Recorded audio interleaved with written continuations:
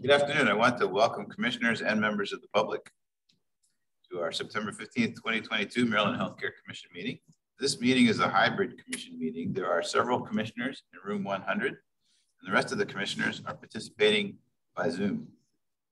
Given that it's a hybrid meeting, additional ground rules will continue to apply. I'll begin the meeting with the roll call of commissioners. During the meeting, I'll ask the people who are speaking identify themselves before speaking.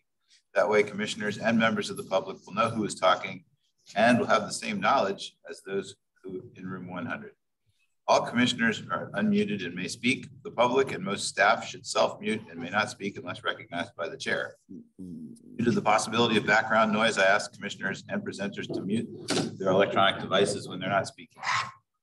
As previously stated, the MHCC post documents that will be enacted on will be acted on or discussed at least a day in advance so that members of the public will have time to download them before the meeting begins.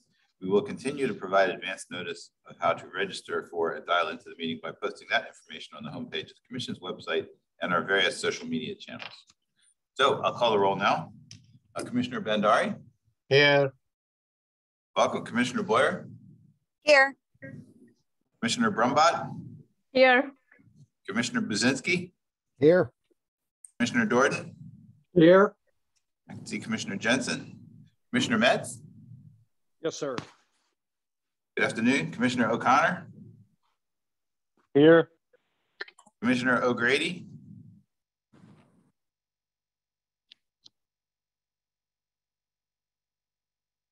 I'll come back. Commissioner Ojikutu.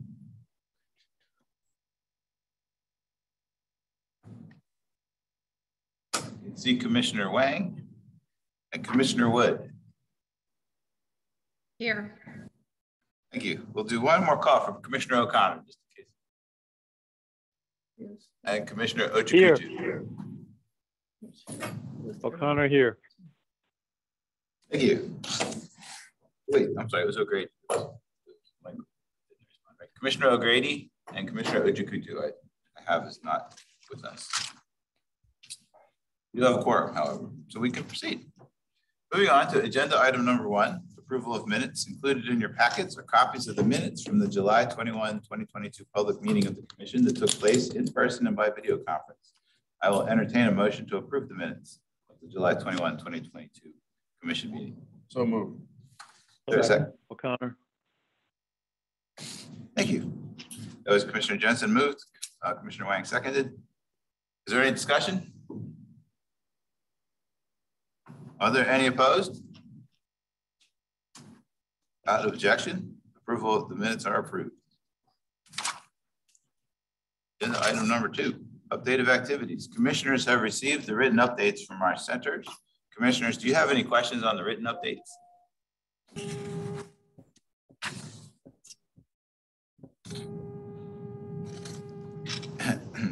Ben, does the executive director have any updates? Uh, thank, thank you, Chairman Sergent. Uh, first off, a couple statewide um, pieces of information uh, total cost of care model. On uh, August 17th, the uh, governor and CMMI uh, signed a, a MOU that, clar that clarified the savings targets that the state will meet for the next uh, three years. The Oh, no, I'm surprised. Oh, well. we are getting some feedback on the line. Uh, In addition to the savings targets, uh, it outlined the path for moving forward as we move to, in- towards the end of this performance period, uh, which ends in 2026. Uh, The state is anxious to move forward uh, on the next phase of the model, and it lays out in the agreement that uh, the steps we would take. Of particular note um, is our, our uh, commitment uh, to begin planning beginning in the late fall of 2022 uh, by convening uh, a number of stakeholder groups focusing on cost containment and financial targets, population health and health equity, uh, post-acute care, uh, post-acute and long-term care expansion of the model, uh, improved consumer engagement, uh, multi-payer alignment with uh, both Medicaid and uh, commercial payers, and then physician engagement and alignment under the model. These six subgroups will begin meeting this fall. If commissioners have an interest in participating in any of the groups, um, please let me know. Uh, after this meeting, I'll provide you with a little bit more detail so you have a better idea of, uh, of what the areas might be uh, in those subgroups. Um, in addition, the, the, uh, the arrangements under the model really kind of uh, lock us down into trying to get this all done by the by the 2024 election period. I think there's you know, some concern on the state that we try to uh, agree before the next election, given uh, administrations could change and uh, approaches uh, could could uh, therefore um, also evolve at the national level. In addition to the uh, agreement that was signed on August 17th, I also just wanted to let everyone know that CMS issued a letter to the state on uh, approximately July 15th, shortly before our July meeting, in which they confirmed that Maryland had met five of the six requirements under the model. The one that the state did not meet, uh, the readmissions and reductions, uh, the 30, the Medicare 30-day unadjusted all-cause, all-site hospital readmission rate in Maryland was about 0.23% uh, above the national average. Technically, we are not uh, in compliance and could, the federal government could ask us to embark on a corrective action plan. They have not done that, uh, but it does uh, really convey that there are, unlike the old waiver, waiver uh, as part of a model, meeting these six conditions is critical to continuing um, continuing of the demonstration. So we're paying very close attention to it. There is you know, some concern uh, for this year, given that the global budget protected hospitals in Maryland from the fluctuations that uh, hospitals across the rest of the country saw in utilization as a result of COVID.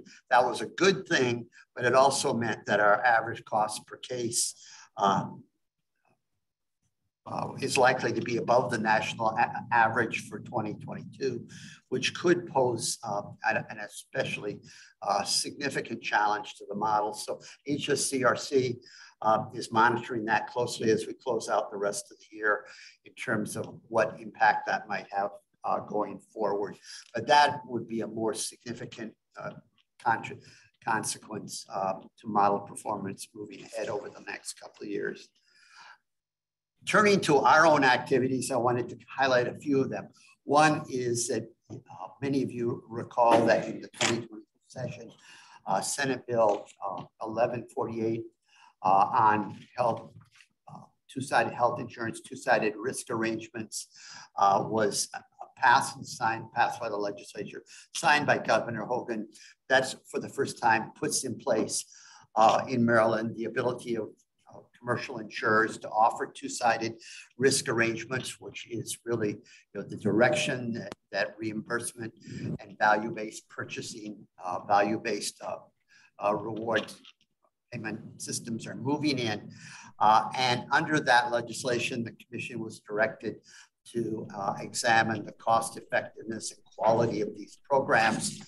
Uh, throughout the summer, we have, first of all, worked with a consultant, Freedman Healthcare, um, to develop a, a, hypothetical template. We've uh, met early on with the five major payers that operate in state CareFirst, United Healthcare, Aetna, Cigna, recording in progress. Kaiser, Kaiser uh, to discuss. Uh, to discuss. I think we're getting a bit of feedback again uh, to discuss uh, their ability to meet some of these uh, requirements. Uh, we now have released to the insurers a draft template that would gather information on non-claim based reimbursement consistent with what the law requires the MHCC to do. Uh, and uh, we anticipate uh, some feedback from payers. We will also be meeting with the provider community to make them aware of what information we will be correcting, collecting on a non-claim uh, basis. Uh, the, the framework is going to be a, a, bit different because the level of reporting will be at a practice level rather than the detailed uh, claim level information.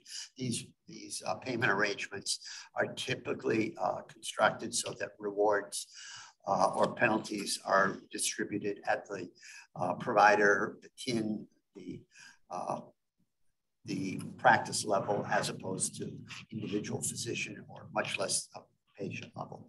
More to come on that. This will be brought before the commission uh, when we talk about release of the uh, the data reporting submission forms for claims uh, in, uh, in November. Uh, this form will be uh, added to that if we can generally reach consensus.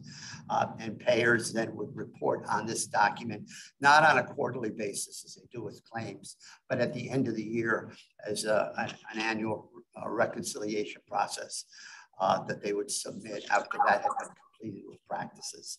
Um, this, this same arrangement is, uh, is being completed in a number of states, not for the purpose of a two-sided risk arrangement, but because they believe it's important to fully capture uh, the healthcare reimbursements that are going to uh, provider organizations. Uh, and those states include uh, Colorado, uh, Massachusetts, and about a half a dozen others. But those are two states that we kind of looked at for models for moving, moving forward. In general, I would say the national payers um, have been uh, willing to talk to us about this. And CareFirst First uh, staff have given us some suggestions that they thought would be helpful as well. So uh, it's generally a positive, uh, positive um, endeavor, more, more so than we thought. A couple other things that I haven't brought your attention to. Uh, we mentioned our behavioral health risk assessment study uh, what we are learning uh, about that is that really the Behavioral Health Administration is already underway uh, with many of the directives we are uh, we were charged with by the, legis by the legislation. Uh, and so we're kind of looking at how we might uh, make what we are charged with doing useful and not redundant or in any in a way um, cumbersome for BHA to to uh, assist us in developing uh, this response.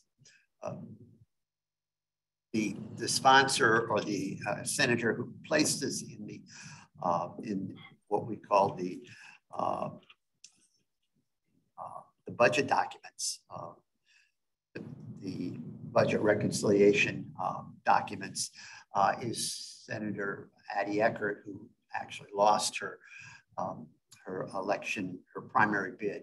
So she won't be returning to the legislature and we'll want to try to gauge if there are other senators who take up this interest. A second area that was uh, that um, is included in the budget documents uh, include a, a, requirement that MHCC conduct a study of financial restrictions on organ transplants. Uh, we had missed that uh, earlier in the summer uh, and it requires us to look at the policy, the financial policies that uh, health systems that offer organ transplant services uh, provide. Um, uh, communications have gone out to Hopkins University and MedStar, and we are getting some information back on these policies. these are these are corporate sensitive documents. And well, we've assured the health systems that uh, while we need to review those, uh, they would be subject to, to uh, Public Information Act restrictions.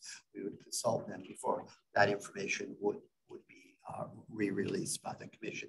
That seems to have uh, reassured them um, about sharing this information with commission staff. We also have worked on the major uh, work groups that were assigned to us. Uh, we're about ready to start uh, one of those, that's the palliative care group. Uh, we also have uh, agreed to uh, assist the secretary in a, in a work group which focuses on workplace violence in healthcare settings. That's actually was assigned to the department. The secretary asked the commission if we would take it on.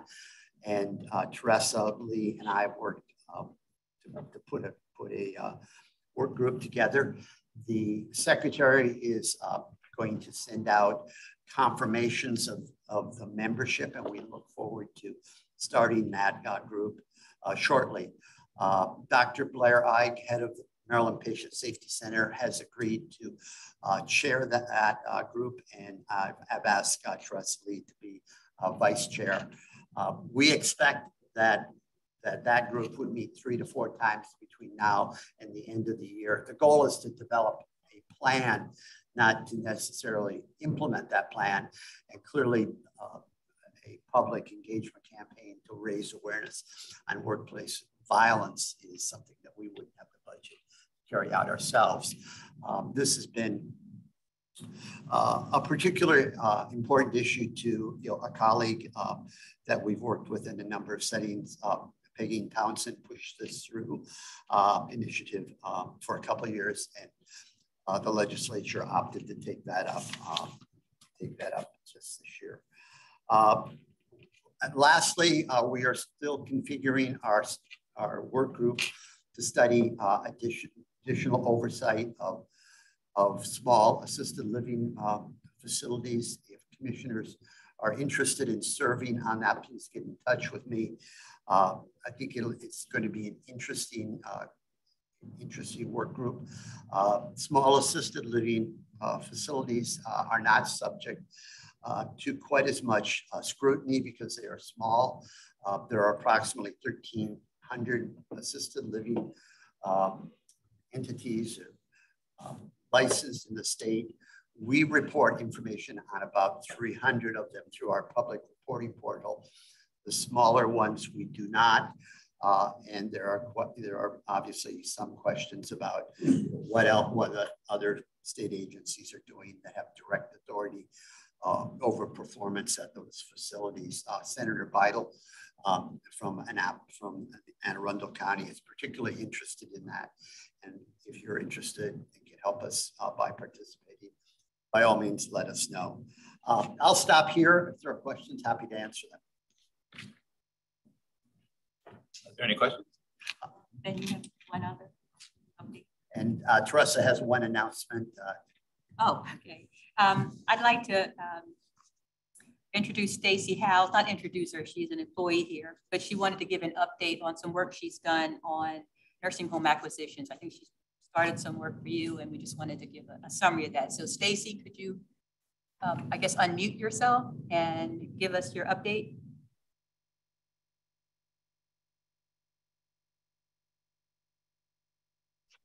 Can you hear me okay? Can you hear me okay? Can you hear me okay? Stacy, you might be on too. Uh, yes. Oh, I'm sorry. Go ahead. Okay. I'm, I'm having some connection issues. I apologize. Actually, you're fine now. Um, okay.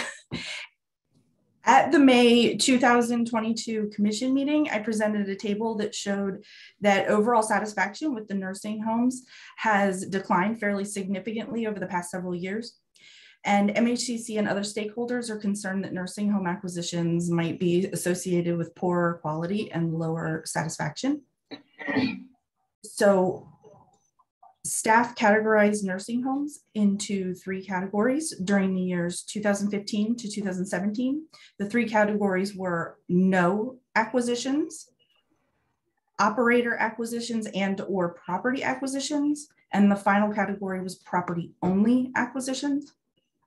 And we plotted the average overall satisfaction score from the Nursing Home Family Experience of Care survey, survey from 2013 to 2021. And even though all nursing homes in all three of those acquisition categories decreased in satisfaction over time, the two categories of acquisitions have a much lower average score in 2013 compared to nursing homes with no acquisitions and continue to have the lowest score every single year through 2021. So that's what I presented in 2022. I, am sorry, in May of 2022. And at the request of Chairman Sergent, the data were divided into profit, for-profit nursing homes and not-for-profit nursing homes. There were 54 not-for-profit nursing homes, and none of them underwent a property-only acquisition between 2015 and 2017, and only two of them experienced an acquisition in that time period. So the overall satisfaction rates were essentially the same for nursing homes with and without an acquisition every single year from 2013 to 2021. But of course, this should be interpreted cautiously because, again, there was only two nursing homes that experienced an acquisition. And then there were um, 162 for-profit nursing homes. And the pattern was very similar to the findings when all nursing homes were grouped together. So for-profit nursing homes that experience no acquisitions almost always have a higher overall satisfaction score than the other two acquisition categories. And regardless of whether there were acquisitions, the overall satisfaction score decreased over time from 2013 to 2021. And that concludes my update. Thank you. Commissioner Jensen? Yeah, I, I have a, a question. Um, did your study, um, look at the time frame after the acquisition? So, I mean, I, I, I mean, I'm just guessing, but I would assume immediately after the acquisition, there was a dip. And did it, did it stay there? Did it get worse or did it get better as time passed? Or, or Um, did you yes, not, were you not able to look at that? Uh, no, we looked at, so the acquisitions all happened between 2015 and 2017. And we were looking at before, during, and after. And they do decrease after an acquisition, but they also, the scores also decreased um, when there wasn't an acquisition. So everyone went down over time, all nursing homes across. I guess. I'm asking a slightly more nuanced question, which is, Okay. as, as there, as you get further and further away from the acquisition, do the satisfaction scores stay low, get lower, or get higher? If there's an acquisition in seventeen and the score goes down five points, if you go back to the same place, uh, uh, in, in nineteen, is the score the same place? Need more years? No, it does not. See go what you're back up. asking? Yeah. That's a good question. It might be, need more years in the study Yeah. to see that. Um, I can look at it even more, but from what we've seen so far, no, the scores do not go back up to original scores. Out up to 2021 anyway. The reason I ask is that in, in, in uh, mergers and acquisitions work, if you look at employee satisfaction, it almost always goes down immediately after a transaction. And then if the transaction is managed well, it starts to tick back up. right? If it's not managed well, they quit or it stays down. But, and, you know, and it makes sense because people are uncertain about Yeah. change. Mr. Chairman, Thank you. Mr. Chairman. I think, uh, Commissioner Metz, is that? Yeah, um, thank you. Um, uh, not really surprised at, at these findings. Um, um, from a personal point of view, I mean, my facilities rankings stay pretty consistent. They're either up a little bit or down a little bit, but they're, they're very good. Uh, it will be interesting to see though, because we've had a number of acquisitions across the state since the study was performed. Um, it very, very high dollar uh, transactions uh, to see how much more that would impact this this type of study. I mean, the commission's aware. I mean, we've seen bed prices anywhere from the low side of you know seventy thousand all the way up through the high side of over two hundred thousand a bed, um, which can then subsequently uh, impact perhaps uh, the quality of care at a facility when you have to service a, a much higher mortgage. Um, I mean, I know the commission uh, has been asked, um, and of course, the industry in general is trying to finagle or figure out a way to um, monitor these transactions for such prices uh, as it relates to care. Uh, but uh, thank you for your presentation. Thank you. Thank you. With that, I think we'll move on to action items. Before we consider action items today, I want to remind commissioners if they wish to recuse themselves on any action item, they should inform the chair. For commissioners who are participating remotely who desire to recuse, you should remain silent and turn off your camera and mute your phone during the discussion. Commissioners in room 100 who are recused should move to the small conference room. Chairman? Yes, sir. Um, we're going to talk about the Franklin Square uh, CON, application. I would recuse myself. Uh, normally my, since it's been withdrawn, I'm not sure there's a need for me to do that. That's agenda item number four. We're, we're not going to do agenda item number four this time. So Perfect. Make, maybe back, maybe back in October. Yeah. So, Attorney, So they, go ahead. just on the the Franklin Square uh, application was withdrawn. uh, And then uh, last, yesterday afternoon, we were informed that uh, CommuniCare's application to um, seek an exemption from CON for the conversion of several of its uh, nursing homes in Prince George's County had been withdrawn uh, for, for uh, for, for reasons that the council needs to, uh, council for CommuniCare needs to talk with, uh, internally, and we expect that one to come back in, in October. I do not expect Franklin Square's, uh, kidney application to come forward. They still have an app, a outstanding liver application that we are just beginning to take under study. Thank you, Ben. That, turning to agenda item number three. Certificate of need for Carroll County Home Health Agency.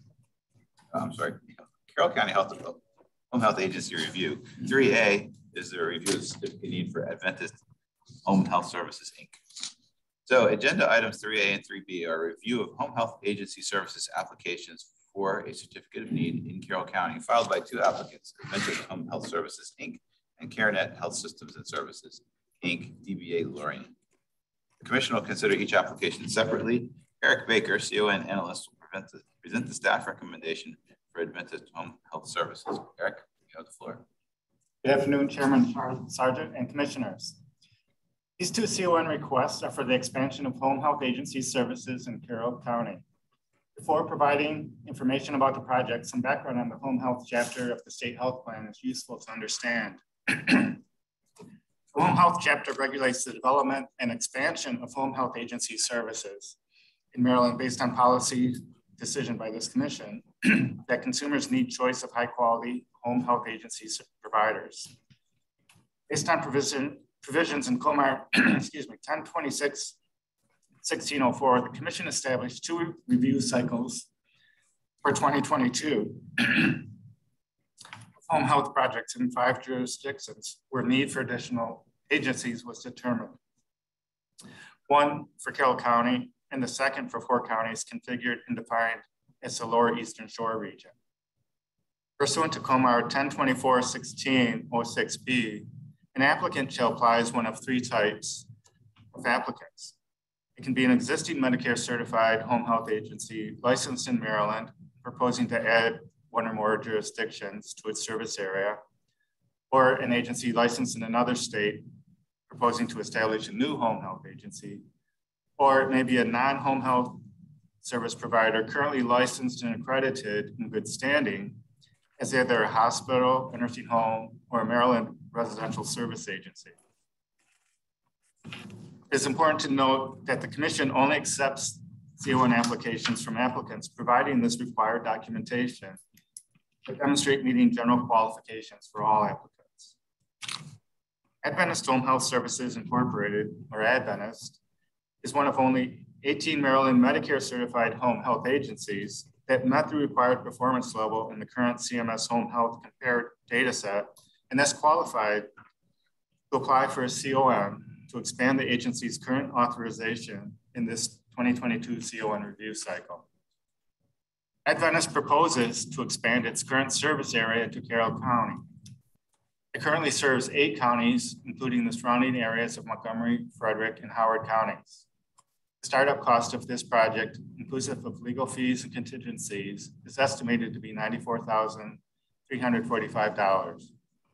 The applicant plans to fund the cost of this project with cash. A CON can be issued if the commission finds that the proposed action is consistent with the following four requirements. It is consistent with the state health plan. It will meet a need that exists in the healthcare system.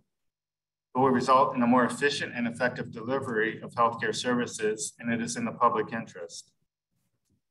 Staff reviewed the consistency of the proposal with the 11 elements of the state health plan standards in the home health chapter. Adventist met all standards within the home health chapter of the state health plan, including the charity care standard. Staff reviewed the proposal in meeting the criteria within the state health plan as well. Regarding need, in addition to the de facto need identified through COMAR 1026-1604 in the home health chapter, Adventist used Maryland state planning data and identified need in the 65 and above age cohort. that population is expected to increase with a 52.7% change between 2020 and 2030, which will create much greater need for home health services in Carroll County. As to cost effectiveness, as an existing provider of healthcare services, Adventist referenced their ability to tap into existing overhead functions when they develop home health services in Carroll County. Adventist has existing offices and shared administrative and supervisory services with the parent organization, which can help it effectively provide more choice and competition in Carroll County. The alternative to not implementing the project would be to leave Carroll County in need of additional providers. Concerning viability and financial feasibility, the project will be financed with cash, and Adventist has demonstrated that they have the resources necessary to implement and sustain the proposed venture. Compliance with previous CONs, Adventist has a long history with this commission, having complied with 14 prior CONs. Given the population projections for the 65 and older cohort, impact on other providers is likely to be minimal, only impeding those providers' potential to attract a larger percentage of clients in the future. In summary, staff concludes that the proposed project complies with the applicable standards in COMAR 1024-16, the Home Health Agency Services chapter of the State Health Plan. The need for additional home health agency services has been identified, and Adventist's expansion of home health services in Carroll County provides a viable, cost-effective approach to meeting that need. Based on all of the factors discussed, staff recommends that the commission find this CON application to be in the public interest. Staff recommends approval of this project with the following standards that apply to most home health applications. That Adventist maintain compliance with the provisions of COMAR 1024-1608E sections one through four regarding charity care, the sliding fee scale, and reduced fee services. Number two, that provide a level of charity care equivalent to or greater than the average level of charity care provided by home health agencies in Carroll County. And number three, prior to its request for first use approval, provide documentation of its links with other healthcare service providers in the Carroll County service area. Before I conclude, I'd like to introduce part of the management team attending online from Adventist. I believe online from Adventist, it's Andrew Nicholas, Deputy General Counsel, Howard Sollins, Outside Counsel, Myra De La Cruz Salvataro, Administrator of Adventist Home Care Services, and Susan Severi, Associate Vice President of Finance. We can answer any questions at this time. Thank you. We um and, and welcome. So uh, I just want to note Commissioner O'Grady, welcome. Just to get on the record that you have joined us. And um, can I get, before we have discussion, can I get a motion to approve the certificate of need for Adventist Home Health Services? Aye. Commissioner Bhandari. Uh, Commissioner Bhandari, we'll, we'll have you be the second. How's that? And with that, are there any commissioners who have questions?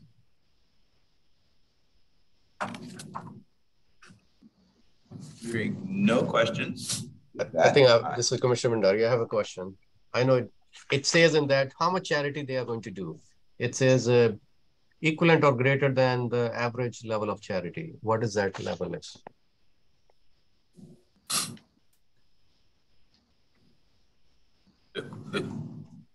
The, the, the level of charity care is actually it's pretty low um, across home health care agency services. Um, it's I think less than one percent.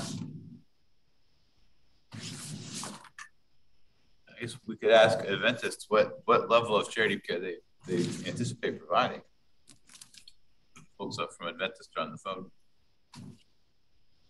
Sure. Yeah, this is Andrew Nicholas. Thank you uh, for the question. Um, I'm pulling up the the application. I'm looking at the application now. Um, I'm going to turn to uh, either um, my colleague uh, Maria Dela Cruz or Susan Savory um, to see if they have that answer at, at their fingertips.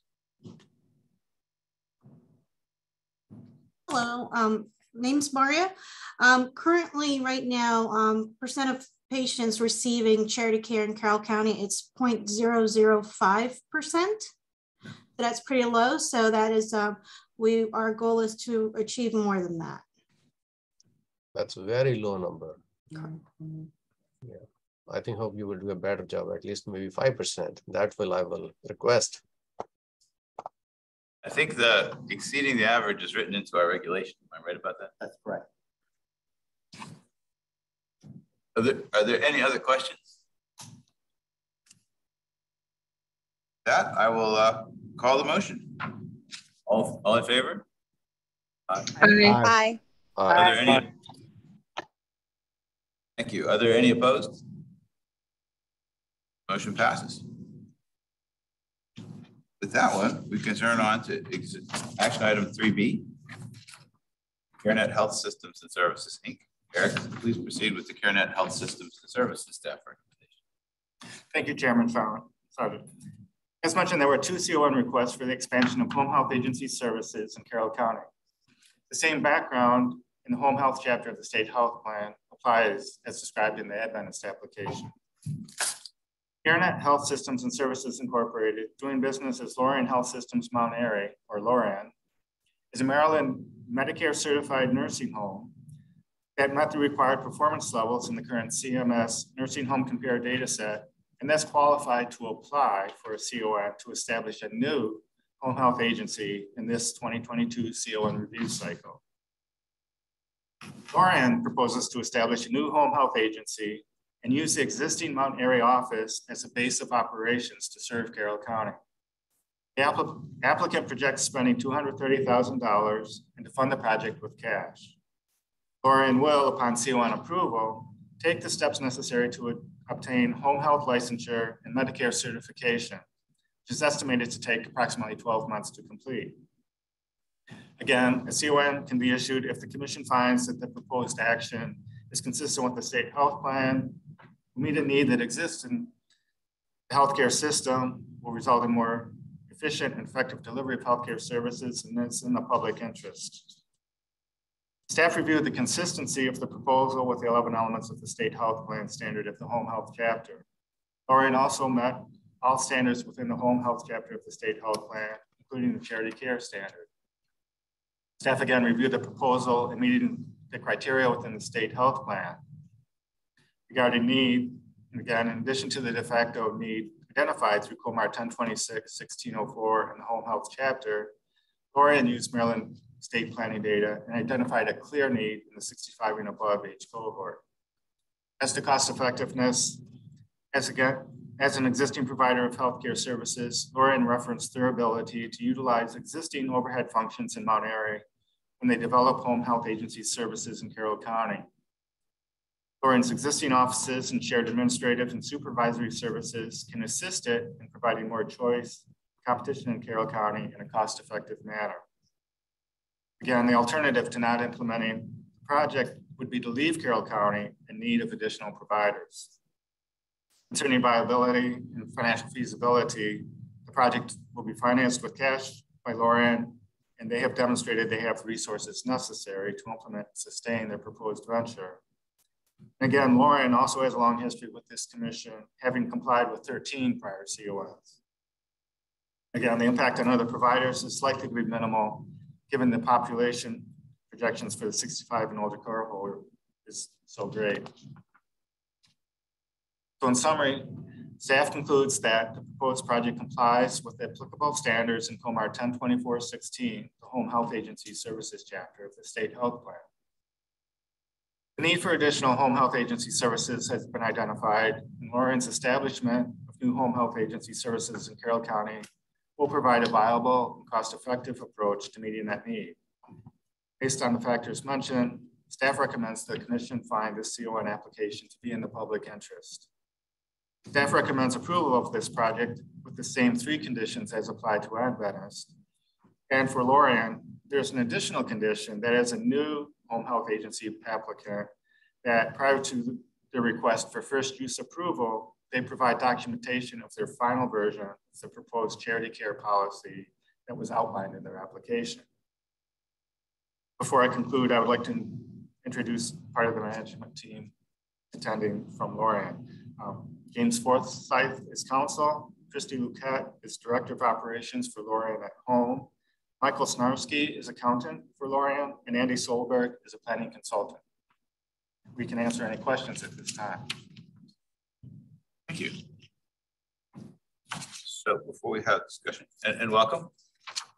Before we have discussion, can I get a mission to a motion to approve the certificate of need for CareNet Health Systems and Services Inc. So move. Second. Thank you, Commissioner Johnson. Great tag team right here. Commissioner Wang has seconded. So I need at least two people to attend, although I welcome the rest, and welcome the rest of the commissioners to come attend too. Give yourselves a shot at getting the motions in the second. They're just too quick. And the, uh, with that, is there a, uh, are there any questions? Any discussion? Commissioner Chairman, I just have a quick question. It's a great report and I'm glad we have more people come in to provide services for Carroll County. Should we be concerned that according to the report, nearly 70% of all the folks being served by HHAs in Carroll County are being served by HHAs that are below the commission approved quality performance requirements? I think that's one of the factors that goes into the decision to open up Carroll County to additional, you know, competitors. Why, oh, sure. Why are, why are these agencies dipping? I assume they met our requirements at one point and they're dipping below them now. Do we have any? Or was, are the requirements changed and left behind? These requirements, when we updated the state health plan chapter for home health agencies, uh, were new uh, in 20, 2019. 2019. So most of those were already were operating in the state, uh, and therefore we're not subject to the, the requirements that we've established today. Um, you know, that's the dilemma with use tying some quality performance standards uh, that if you don't come before us with an application, you're not necessarily subject to that. You know, that being said, we do, uh, through our quality reporting website, uh, highlight the performance of all um, home health agencies. Um, and we continue to, to look for tactics that would you know, more fully engage consumers but in terms of our ability to cause them to cease operations, we have no, ability to do that. Uh, we can certainly continue to shine the light on performance in the industry, but uh, the CON process, uh, quality requirements are effective only if you come before us to get a CON. And is anybody going to these folks? We don't want to put them out of business. Or is anyone going to them and engaging them and getting and you know, trying to help them to up their game to meet these requirements? They're communicated with in terms of, uh, you know, aware of what we publish. Uh, I don't think we reach out directly to any low performers, but uh, Theressa Lee is here. I'd have something more to say to that. Not at this time. We don't do that. The home health agency. Certainly, we can do that um, and try to think of ways in which we can engage them a bit more. Now, at this point, we really don't the statistics, the, the statistics we're relying on to say that low performers, that's not us that's making that assessment, right? Those are federal measures. Those are federal measures, and they know that they're what they're doing under the federal measures, right? They don't yes. need us to tell them that. Right? They are aware. They're they're aware they should be. And we publicly report on that to make consumers aware of it. But it's not built into this process because this is fairly new to the CON process to add the quality. Seventy measures. percent of providers, even if consumers know, they're a little harder for choice. It's good we have, it's good we have two more applicants. Thank you. Are there any other questions or, or comments? With that, uh, I'll take all in favor of the motion. Aye. Aye. Aye. Aye. Aye. Aye. Are there any opposed? Great, motion passed. Thank you. Thanks to the folks from Adventist and Lorien. Mr. Mr. Chairman, this is Howard Sollins. I was asked to convey my thanks to uh, Mr. Baker and the rest of the CON staff and to the commission for the approval and for the uh, deep look and uh, and uh, consideration of this expansion project. So thank you very much. Thank you. And thank you as well, Mr. Becker, for your presentation. With that, we can turn to agenda item number five. We're going to skip over agenda item number four. I'm going to go to agenda item number five, the City of Baltimore Monument Analytics MCDB data request application. Under current statutes and regulations governing access to MCDB data for research use, the commission must approve an application for MCDB data before the release of MCDB data to an applicant. City of Baltimore Law Department applied for the MCDB data. Mahi Nigatu will present the staff review and recommendation for the application. Thank you, Chairman Sergent. Good afternoon, Commissioners. As the Chairman mentioned, I'll be presenting the internal Data Release Advisory Committee report and recommendation pertaining to the Baltimore City Law Department application prepared with assistance from staff. Next slide, please. The, the uh, data release is governed under COMAR 102505. The core components of the data release process consists of an application. After the application is deemed complete, the redacted version of the application will be post posted for uh, public comment. And also if the applicant requests uh, Medicaid data, such as the one that we're looking at today, the application will be sent to Medicaid uh, for a decision. Um, this includes either the continuing with an independent review, disapproval, or to defer to the MACC review process. Once the public comment is complete, uh, the uh, application, along with the public comment, if any, and any correspondence with the applicant will, be presented to the DRAC. If approved, the applicant will enter into a data use agreement with the commission. Next slide. The applicant in this case is Baltimore City Law Department, and currently they uh, are requesting the MCDB data to assess the extent of the opioid epidemic in the city of Baltimore. Uh, the objective is to estimate the number of individuals affected by the epidemic, as well as looking at the healthcare utilization and prescription related to opioid uh, within the city from the year 2010 to 2020. Slide, please. The purpose of the project, as indicated earlier, is to use the uh, MCDB data to look at the epidemiological impact of the epidemic in the city of Baltimore and use it for litigation purposes. Next slide, please.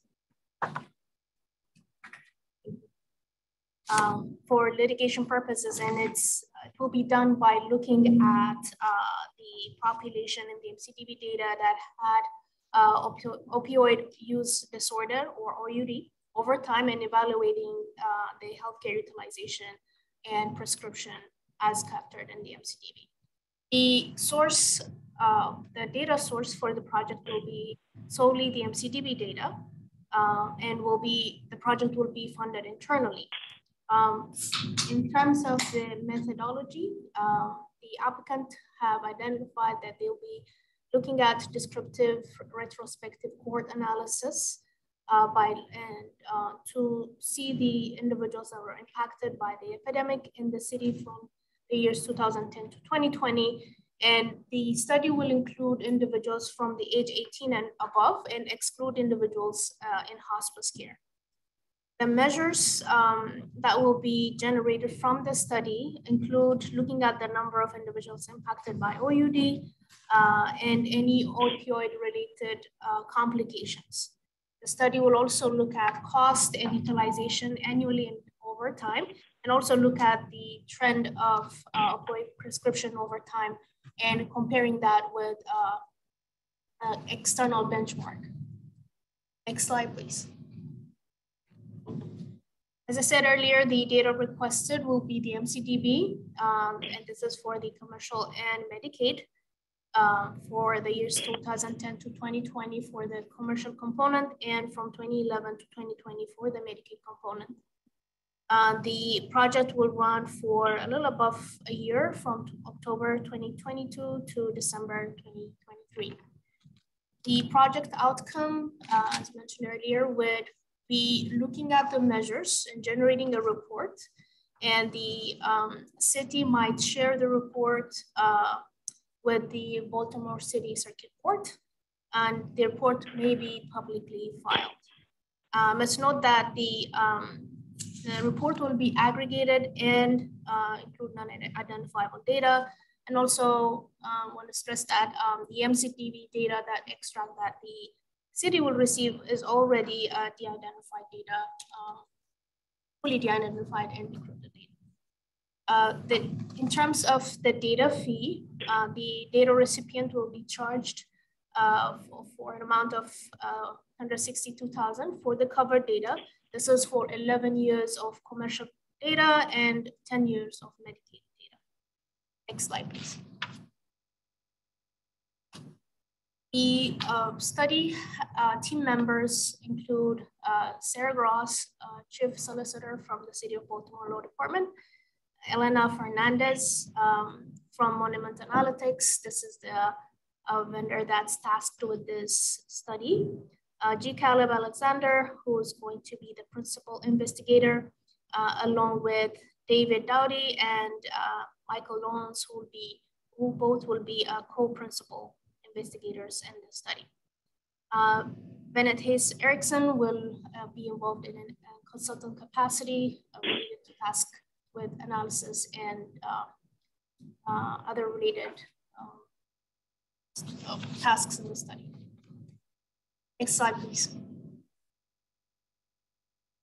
Uh, moving on to review and recommendation, the DRAC have found, and this is uh, using COMAR 10250509, uh, where we have, where it lists out the uh, approval and disapproval criteria, have found that the application have met uh, the requirement for research use as it would look at the estimate um, of number of individuals that are affected by the opioid epidemic, as well as healthcare utilization and prescription in the city of Baltimore from 2010 to 2020. The application is also found to have met uh, the requirement of public interest as the city, as the data and the outcome from this is going to be used for opioid litigation purposes. And the finding from uh, this analysis will provide information to stakeholders and the litigation might result in uh, an award for abatement or and or damage uh, funds that the city could later use to fund programs to address the uh, impact uh, of opioid epidemic in the city.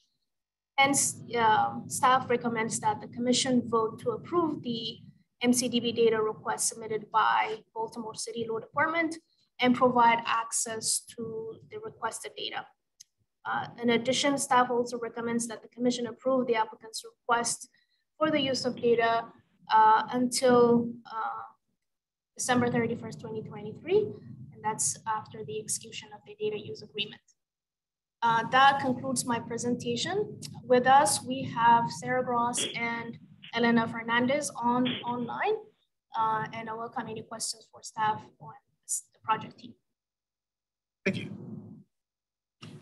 Why don't we start with the motion, that motion to approve the City of Baltimore Monument Analytics MCDB data request application. Commissioner Wang. Second. And Commissioner uh, Jensen has second. Are there any questions the commissioners have?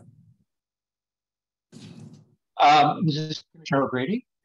Uh, can I just ask, I, I, mean, the merits of this seem quite straightforward. Uh, I'm just a little on the side because I just don't think of this sort of, of user as having these sort of resources readily available. Are you quite comfortable with kind of data protection, privacy, uh, kind of protection of this data? Yes. So, so um, we have in the, the draft, the data release review committee looks at this, uh, the security of the data very uh, closely. And we have um, requested follow-up questions of how they would maintain the um, safeguard the data overall. So we, we have in the application that is attached in the package, we have the IT policies and then um, other associated uh, documentation such as the SOC 2 and HITRUST uh, certification that was provided by the applicant. And this is um, specifically for the custodian, which is Monument Analytics. So th those information has already provided and have gone through the due diligence to make sure that they have uh, uh, okay. right uh, security in place. Um, and also require them to update us as uh, when, if, if there's any kind of changes, that's actually in the DUA that would require them to inform the commission if there are any changes in their uh, infrastructure. So are they keeping the data or is it being returned when they're done with their study? So once the data, the study is complete, the applicant is required to destroy the data within 30 days. And um, that they have also, the, applic the applicant also have indicated that in their application package and also in their data management plan. But in addition to that, it's also laid out in the data use agreement that they will have to destroy the data and follow specific protocol uh, as provided in the data destruction template. Okay. Um, having been the recipient of such, you know, this kind of data in the past, um, it wouldn't surprise me at all that they get into this, they do this study, and then they see, you know, the three other questions that this data would be very helpful in answering for them. Is there a, a procedure here where they can ask for sort of an addendum amendment to do additional analysis, or do they have to start over again?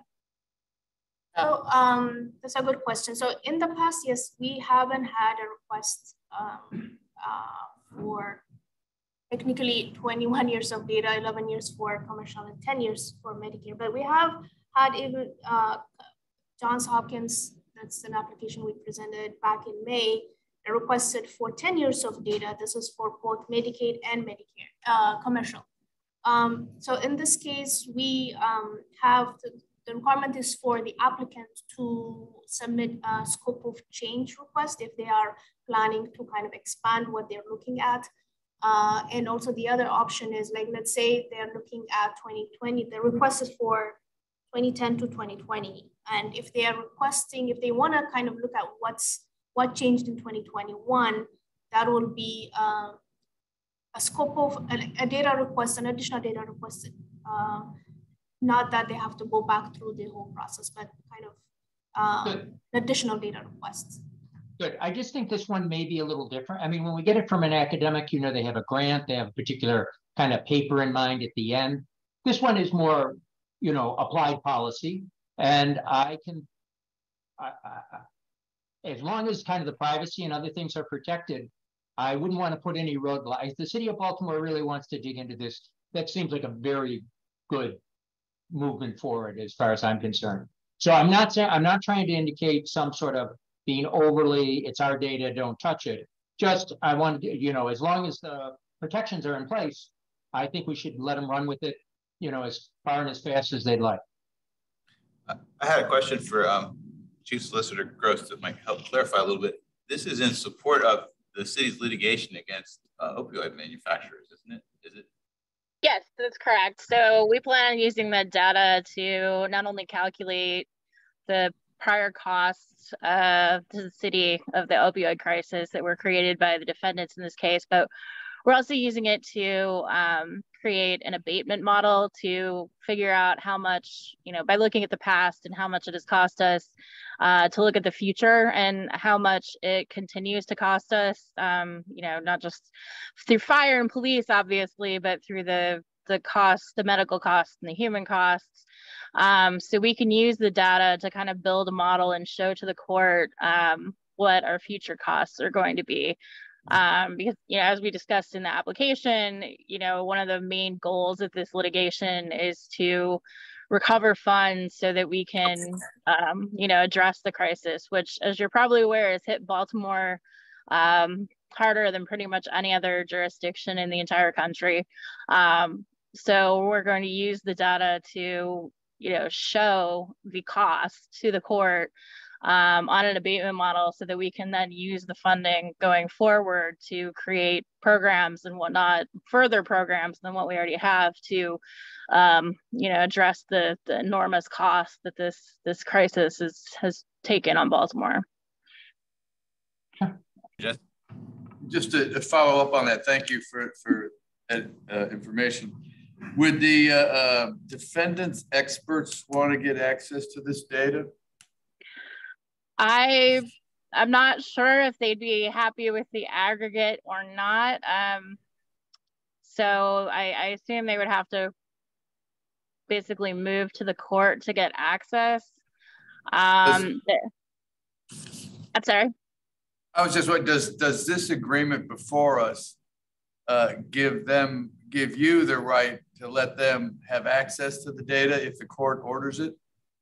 if the court orders it, then yes, we would have to produce the data. But if that were to happen, if a motion like that would be filed, we would loop in the commission to make sure that if it's something that we had to turn over, that there would be parameters in place to ensure the privacy um, of the individuals, you know, whose data it is. Um, we plan on initially restricting it to the aggregate data. Um, if they make a motion before the court, then obviously uh, the commission would be an interested party in that. So um, we would loop you all in so your attorney could make the arguments that it shouldn't be disclosed. If the court ultimately orders it, um, we have a protective order with the other side um, that we signed at the beginning of the litigation to ensure that no data that's exchanged um, between the parties goes outside of that.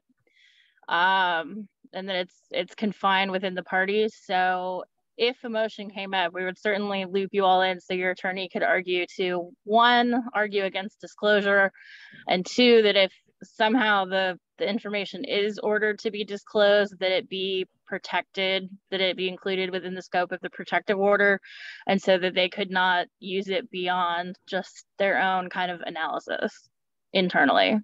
But, but theoretically, we could end up, unless I missed something in this room, theoretically, we could end up in a situation where the court orders the disclosure, but uh, uh we say that this agreement does not allow it.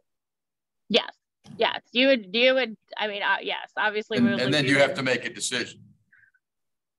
You, well, the court, the court. we all have to work. It wouldn't be much of a decision. Yeah. So the court would have ordered it. The court, Uh, yeah, the court, if the court orders it, but we would, you know, fight obviously, and I'm sure the attorney general will also fight on your behalf to keep it um, as as limited a disclosure as possible. And like I said, we do have a protective order already in place so that the information we exchange doesn't go outside of the attorneys and their experts. So if it ends up being a disclosure, it would be a limited disclosure to a select few people. Yeah, I mean, I'm, I'm in favor of this agreement and I'm in favor of the disclosure and the use of it for the benefit of Baltimore City. I just, uh, I'm a little concerned about it getting into the hands of the defendants who would then, we don't, we have sort of, lim we here at the commission have limited authority at that point to impose any conditions on uh, their data security procedures or anything else. We, we have the right to argue at the court, but if the court says, you know what, I think this is de-identified data. So the, an important, the probably the most important protection is that this data itself so. does not does not identify individuals. Yeah. Go ahead. Yeah, I, I, I uh, thank you. I I wanted to make sure the commissioners understood that the environment that where this data is going to be stored is in a Microsoft uh, Azure uh, cloud. Um, they, uh, Baltimore City has provided the uh, trust documentation and uh, some sections, some segments of their of Azure's uh, SOC 2 audit.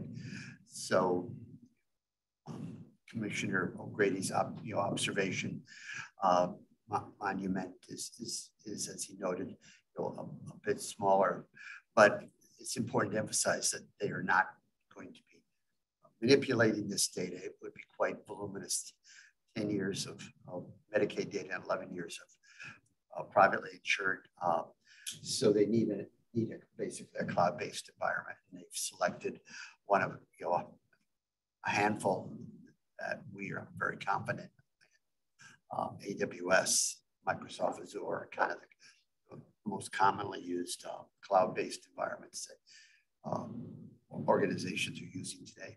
So I think the work that Mahi and her team did to you know, get that information to be very helpful. Thank you. Are there any other questions, commissioners who have questions or comments? That I'll call the question. All in favor? Aye. Aye. Aye. Aye. Aye. I think it was your pain pump. Are there any opposed? Ayes have it, the motion carries. Good luck to the city of Baltimore. Thank you very much for your time. I appreciate it. I, I am told that the staff is more efficient than I am. So when I skipped over agenda item four, they had adjusted the agenda items so that what was previously number four is now gone. So I actually skipped over a live item and we need to go back. But currently agenda item four is actually now the designation agreement for the Maryland Patient Safety Center. So for those following along at home, your agenda numbers are a little different and I've chosen an order that is not linear. So the commission designates the Maryland Patient Safety Center and monitors their performance. Commissioner Boyle serves on the Patient Safety Center board and keeps abreast of their ongoing programs and, and initiatives. In 2022, the General Assembly approved and Governor Hogan signed legislation that appropriated $1 million in general funds to the state designated Patient Safety Center, the Maryland Patient Safety Center, Inc. Under the new law, MHCC was charged with administering the transfer of the general funds. MHCC has modified the designation agreement with the Maryland Patient Safety Center, Inc. to reflect the new funding and MHCC's responsibilities. Theressa Lee, Director the, of the Center for Quality Measurement and Reporting, will give us a brief background on this project, and Dr. Blair Eig, President and CEO of the Maryland Patient, Maryland Patient Safety Center, Inc., will provide an update on the center's activities, accomplishments, and strategic plan. Theressa and Dr. Eig, please proceed. Thank you, Chairman Sergent, and good afternoon, commissioners. In addition to the copy of uh, Dr. Eig's presentation, your packet includes a copy of a new designation agreement between MHCC and MPSC Inc.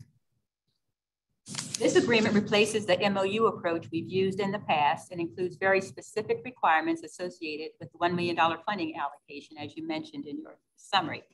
Um, this $1 million funding allocation was approved during the 2022 legislative session.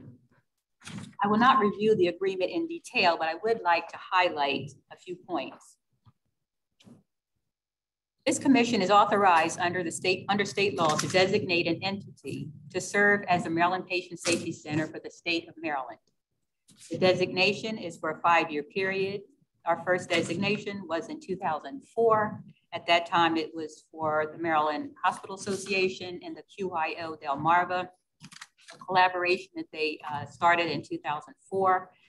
In 2007, they modified the name of that collaboration and incorporated as Maryland Patient Safety Center, Inc. That was done in 2007. But they serve as the Patient Safety Center for the state of Maryland because of their designation by MHCC. So um, in other words, every five years when it is time for redesignation, it's still uh, a process that is open to other entities, possibly. They just happen to have the same names. In January of 2020, we issued a request for expressions of interest, or an RFI, to determine if there were other entities interested and willing to serve in this role, which is primarily to coordinate patient safety initiatives among hospitals and other healthcare providers across the state. The RFI provided guidance on our priorities, which include aligning with the total cost of care model, um, going beyond hospitals to other entities, nursing homes, home health, um, uh, focusing on health equity, looking at the SIHIS measures and other um, MDH um, um, priorities. There were no other interests from, there no submissions of applications from other entities.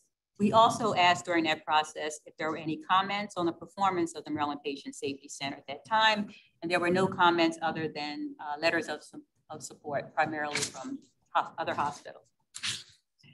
Uh, HSCRC no longer funds the Maryland Patient Safety Center through hospital rates. Their funding comes primarily through membership dues, conferences, educational sessions, and other income generating activities. So this $1 million uh, enhancement um, from the legislature and uh, approved by the governor is a major enhancement for patient safety in Maryland. Legislation specifies that the funding may not be used for projects not approved by MHCC, which gives us stronger uh, monitoring, uh, a stronger monitoring role, I believe. Um, I will now turn the presentation over to Dr. Eig for his update, after which we would like uh, to request your approval of the new designation agreement, but we thought you may want to hear the presentation first before we get to that point. Absolutely. Dr. Eig.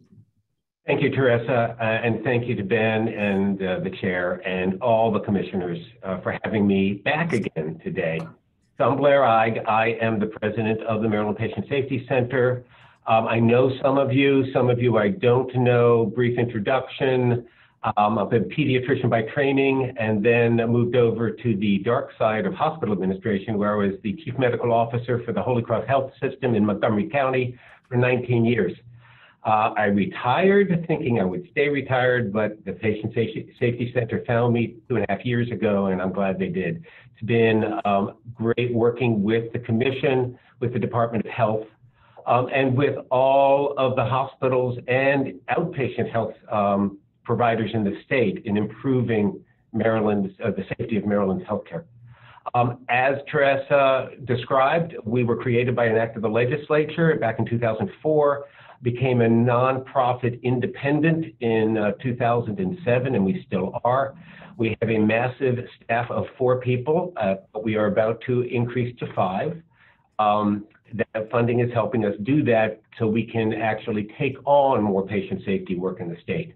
Let me describe a little bit about who we are and what we've done over time, um, and then ask for any questions that you have. So the next slide. This describes our members. Um, that is, most of those member facilities, as you can see, are acute care hospitals in the state, almost all the hospitals. We have other um, outpatient facilities and, in fact, have provided free membership for a year um, or so to uh, centers that we're working with in the outpatient community, such as nursing homes. I'll describe that project in a little bit. And we had nursing um, about 23 nursing homes as members for two years.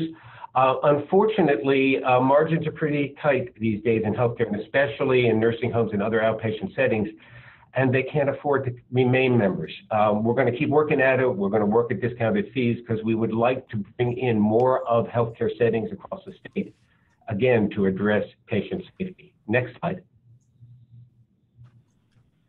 Um, our board of directors, uh, the uh, are wonderful people. They uh, represent a, a broad spectrum in Maryland, both in the healthcare industry, in government, and the community.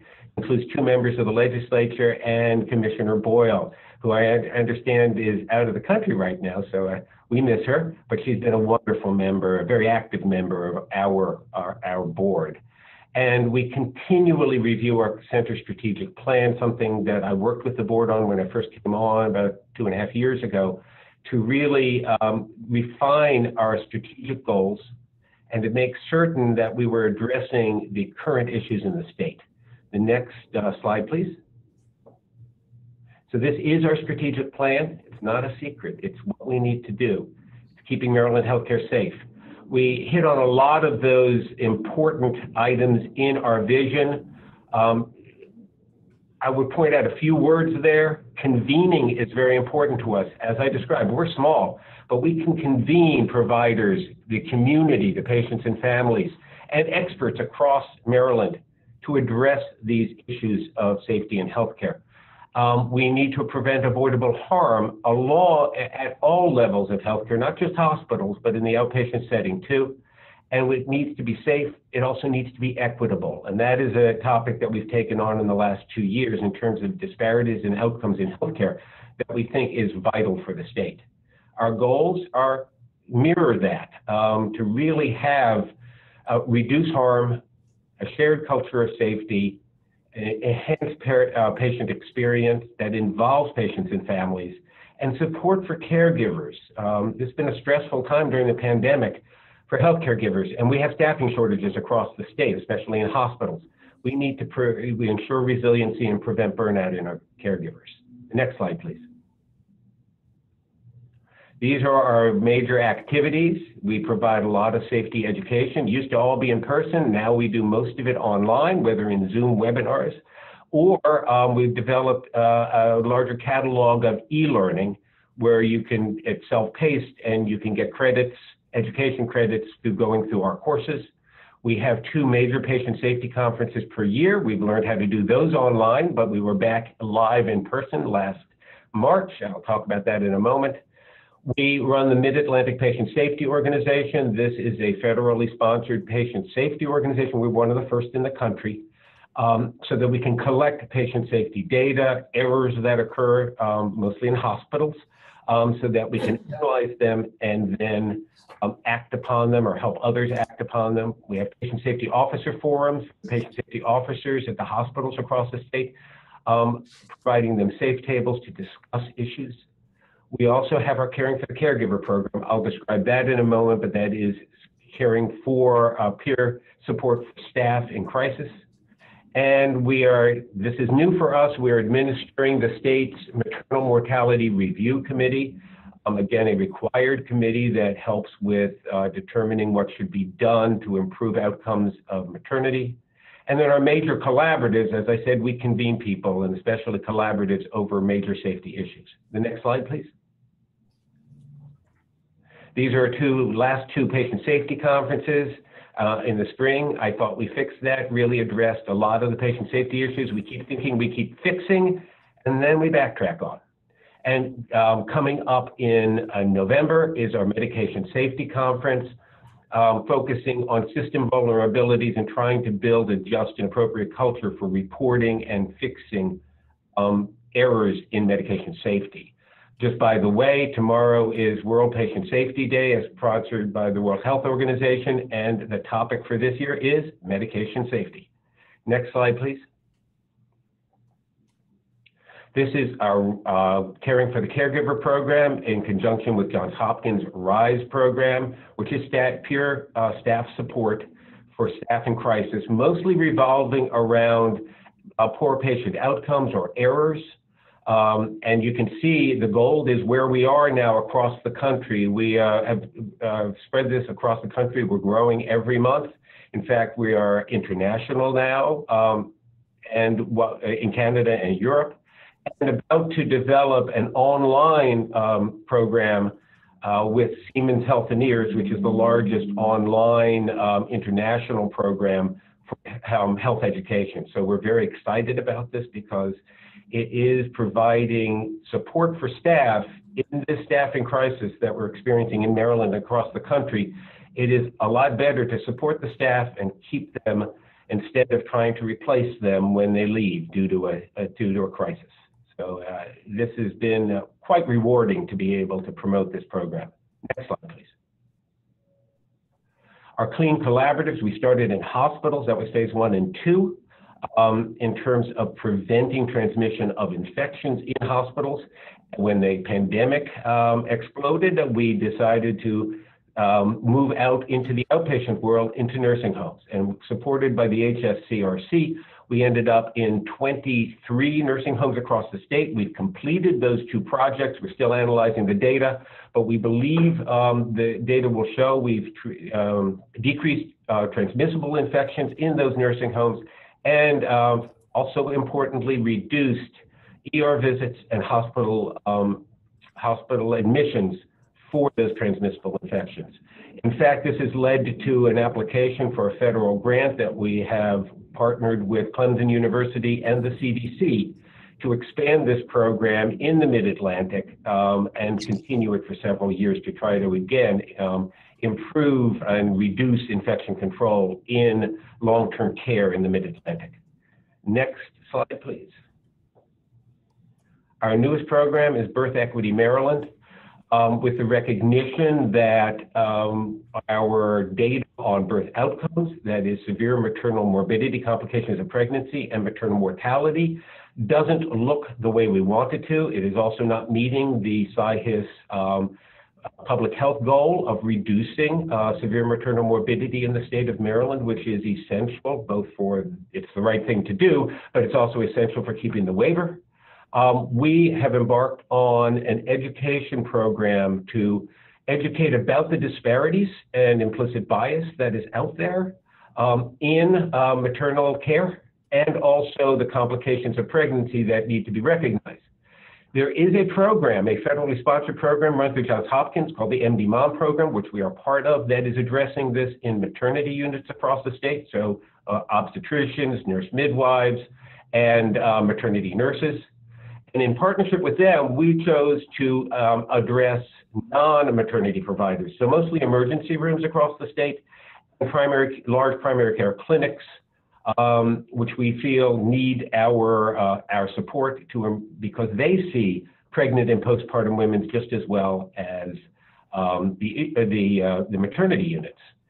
Um, as you may know, Black women in Maryland have twice uh, the um, incidence of complications of pregnancy than white women. This is not any different than across the country, but we're addressing Maryland, and so we think we need this work and um, partnership across the state with um, the, uh, the MD Mom program and other programs of its like to be able to reduce those numbers. Uh, next slide, please. And so with the funding coming from the state, uh, we are looking at new and expanded programs for fiscal year 23. We want to expand the birth equity program, uh, starting with further pilot sites, We're already in five pilot sites already um, but expanding it further this fall and then going statewide in the spring. Uh, the Maryland Hospital Association's Executive Committee has uh, designated that we have the birth equity program in all emergency rooms across the state, and we think that's going to take about two years. Um, we when we um, when I testified before the uh, House and Senate committees for this funding bill that passed the um, passed the legislature this past year, um, I heard distinctly from our legislators that they were getting concerns from their constituents about um, assisted living across the state. Um, and they wanted us to help assisted living sites improve patient safety. And we know from the data that preventing falls in assisted living is a, the first place we're going, and we're going there. Um, that will be rolled out probably around the start of 2023. And then we want to uh, develop further modules for our Caring for the Caregiver program. As I described before, we work um, on the stress induced by um, complications or uh, untoward complications of patients or medical that's, uh, uh, um, that's affecting our staff. We also want to include modules on equity as that's become a major issue that's affecting staff over the last couple of years and on violence in the healthcare workplace. Uh, ben talked about this in the uh, Senate Bill 700 earlier in the meeting. Um, I am chairing the um, the legislator the legislation designated committee on that, but we'd like to add that to um, our caring for the caregiver modules, and um, just a, a, little tidbit in that regard. Um, some recent data shows that three quarters of OSHA reported uh, and that federal OSHA reported violence in workplace reports are in healthcare, three quarters. And that uh, a, a data just came out this week that across the country, two nurses are assaulted every hour in this country. Um, this needs to be addressed, uh, both because it's the right thing to address, but also because we need to protect our healthcare heroes and we need to keep them at work. Finally, um, the funding will help us to live stream our, our annual conferences, which we hold in person, and they get uh, up to a thousand people attending. But we also want to reach those that can't attend. Uh, although we are not a big state, it is hard to attend sometimes from the Eastern Shore or from Western Maryland.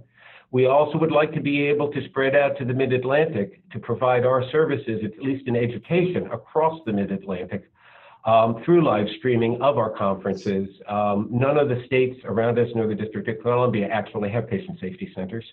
So at least if we can provide some um, education um, and interesting conferences for them, we're willing to do so. Our primary goal is to get it to everybody in healthcare in the state of Maryland. So that's um, sort of a synopsis of what we're doing. Um, I'd be happy to entertain any questions, but I thank you for your time. I thank you for your support. I thank you for Marcia Boyle. And um, I turn it back over to Theressa and Ben. Thank you. Does that conclude your presentation? It does. We would like to request that you approve the new designation agreement. And if there are any questions, certainly we'd be happy to answer those. Absolutely. So why don't we start with, I'll put a motion. Do I have a motion to approve the designation agreement for the Maryland Patient Safety Center? So moved. Right, Commissioner Johnson, and second from Commissioner Wang. Are there any, um, thank you for the presentations. Thank you, Dr. Are there any questions or comments? Um, I, Commissioner Bazinski here. I have a question for Dr. Yes, sir. Um, I'm in Western Maryland, a family doctor. I deliver babies. And um, I find it interesting that you're expanding your birth program to the emergency department. Um, most ER doctors assist with pregnant patients by holding the door open for the uh, labor and delivery ward. Um, so what that, that's curious for me. Why talk about pregnancy in the emergency department? I guess unless you're talking about first trimester complications, but uh, why that as a strategic uh, uh, role out there for the birth program? Thank you for the question and thank you for what you're doing. Um, it is, it, it does extend to both um, early pregnancy and first trimester and the postpartum period. What we've learned in looking at this across the state are two things. Number one, um, uh, ER docs don't always recognize complications of pregnancy, especially in postpartum women. If they see, and you understand this, of course, if they see um, a postpartum woman with a headache and um, maybe slightly raised blood pressure, they think it's stress and they send them home. And it could be preeclampsia. And we, that is a complication you can't ignore. Another issue is that and this may not be true in your setting, but it is true, I think, in some of the larger um, healthcare institutions setting, if there is not always great communication between the ER doctors and the maternity unit. And therefore, they are not always communicating when they see a patient um, in a timely fashion. Um, uh, there's no blame here. Everybody's busy. Everybody's trying to do their best.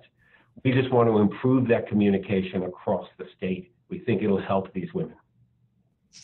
That makes a lot of sense. Majority of, or a significant portion of preeclampsia does present postpartum and those patients do end up in the ER. So I appreciate your work and helping for our pregnant uh, moms out there. Thank you. Mr. Kids, just a quick comment. Um, a very nice presentation, Dr. Eig, and I'm just glad to see that you were able to give up your uh, acting career and pursue the Patient Safety Center. I think the, the, the state is better for it. Thank you. Well, I thank you. I won't comment on my acting career. Um, I did appre I appreciate the times that I've been able to do that, but I agree uh, I'm better suited for this. I have one question. The, the, list of new and expanded programs for 2023 up there. You mentioned earlier that the money from the legislature is supposed to be spent on programs that we oversee. Is that the list of the programs that? Well, I believe in the uh, uh, the designation agreement we identified fiscal year 2024 will actually have programs identified and then we'll approve those for the funding. I see. So these are programs that were in place. We do support because we've been monitoring this, but will be more um, clear cut going forward when they give us the list and then we come before you and say, these are the programs. Okay. And that makes sense. I have no concerns with these programs. So okay. it's, uh, I was just lining up the different pieces. So I, thank you. Um, with that, uh, if there are any other commissioners with questions or comments before I call the question? Okay, all in favor of uh, the motion to approve the destination agreement for the Maryland Patient Safety Center? Aye. Say aye. Aye. Aye. Aye. Are there any opposed? Motion passes. Thank you. Thank you, Dr. Eig. Thank you. With this, we are skipping ahead to agenda item number six, formation of the primary care working group. The MHCC is required by Senate Bill 734, Maryland Healthcare Commission mm-hmm. Primary Care Report and Work Group, to convene a work group to study primary care investments and make recommendations based on its findings that include quality and access to primary care services. The law requires broad stakeholder participation on the work group, and staff have assembled the work group composed of primary care providers, employers, payers, and state government partners. David Sharp, Director of the Center for Health Information Technology and Innovative Care Delivery, will provide an overview of the work and nominees for commission consideration. David, you have the floor. Thank you, Mr. Chairman. And um, for Levon, I will say next slide when it's time to advance, but I'll start with start with here with the presentation slide. Um, so good afternoon, commissioners, Mr. Chairman. It's my pleasure to overview the activities of the primary care work group and propose for your consideration stakeholder work group nominees. Next slide, please. The MHCC has a critical role in promoting adoption of advanced care delivery models. The Commission's involvement dates back to 2010 when legislation passed that required MHCC to implement a patient-centered medical home.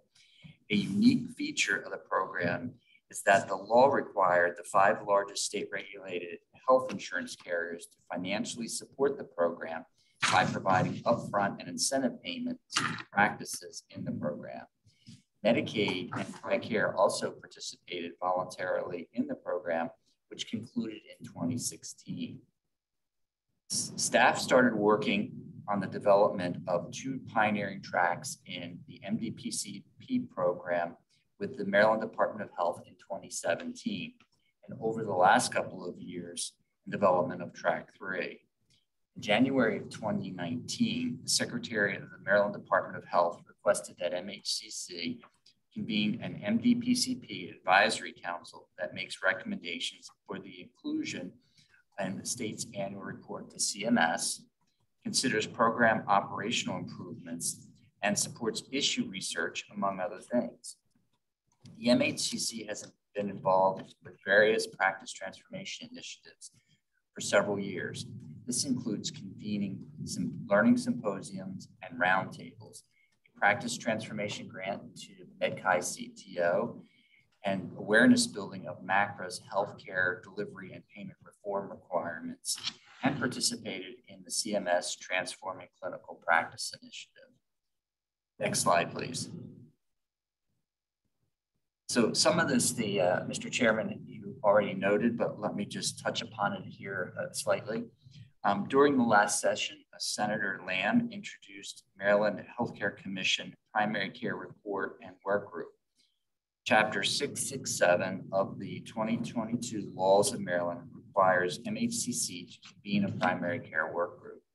The law requires MHCC to, to submit an annual report to the Governor and General Assembly the report must include an analysis of primary care investment over the preceding year, including data stratified by zip code and county in relation to the total healthcare spending over the previous years.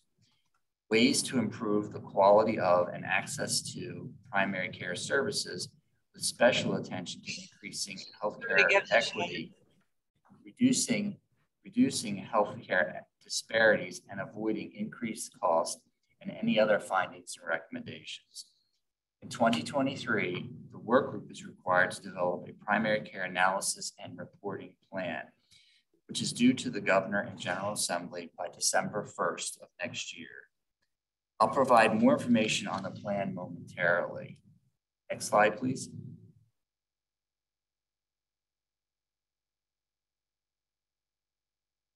Okay, the work group scope of work is broad and encompasses analyzing primary spending, developing plans to improve quality and access to primary care, identifying strategies to reduce access barriers to primary care, and identifying approaches to increasing the primary care workforce. Next slide, please.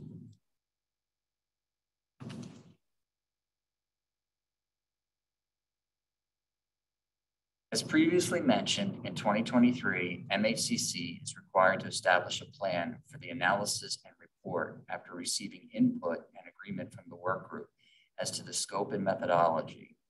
The plan will be informed by work group deliberations, peer-reviewed research, government and private sector policy reports, and state-based efforts to strengthen primary care. Final plan serves as the required report due to the Governor and General Assembly at the end of next year. Listed here on this slide are elements of the plan.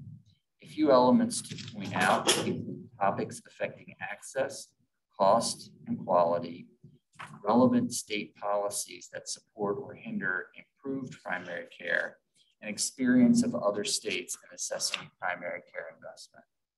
Next slide, please.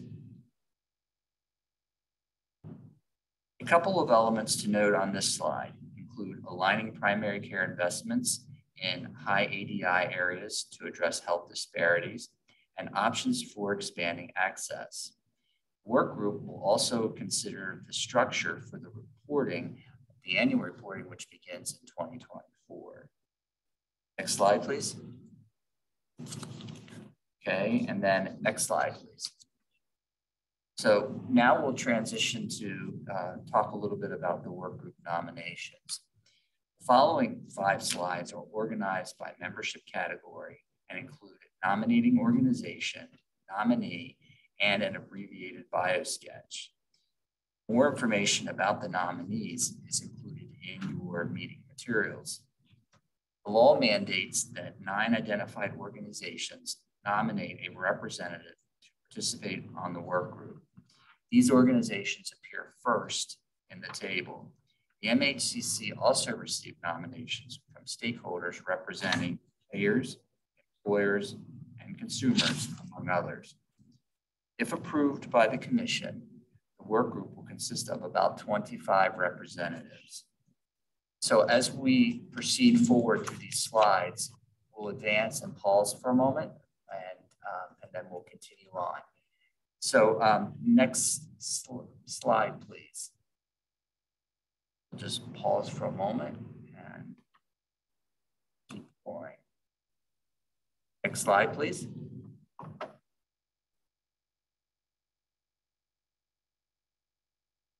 Okay, next slide, please.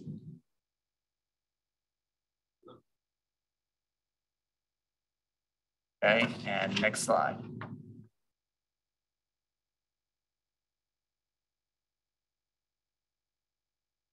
Okay, please advance.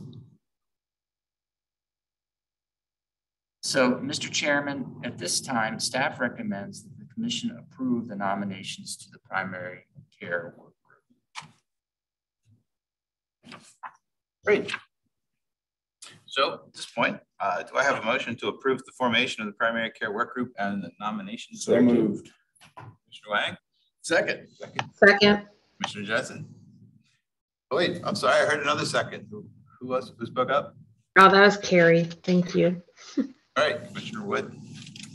So, uh, are there any questions? Uh, yeah, I have a couple. Oh, Go ahead, Commissioner O'Grady. Hi, and would you mind going back to the previous slide?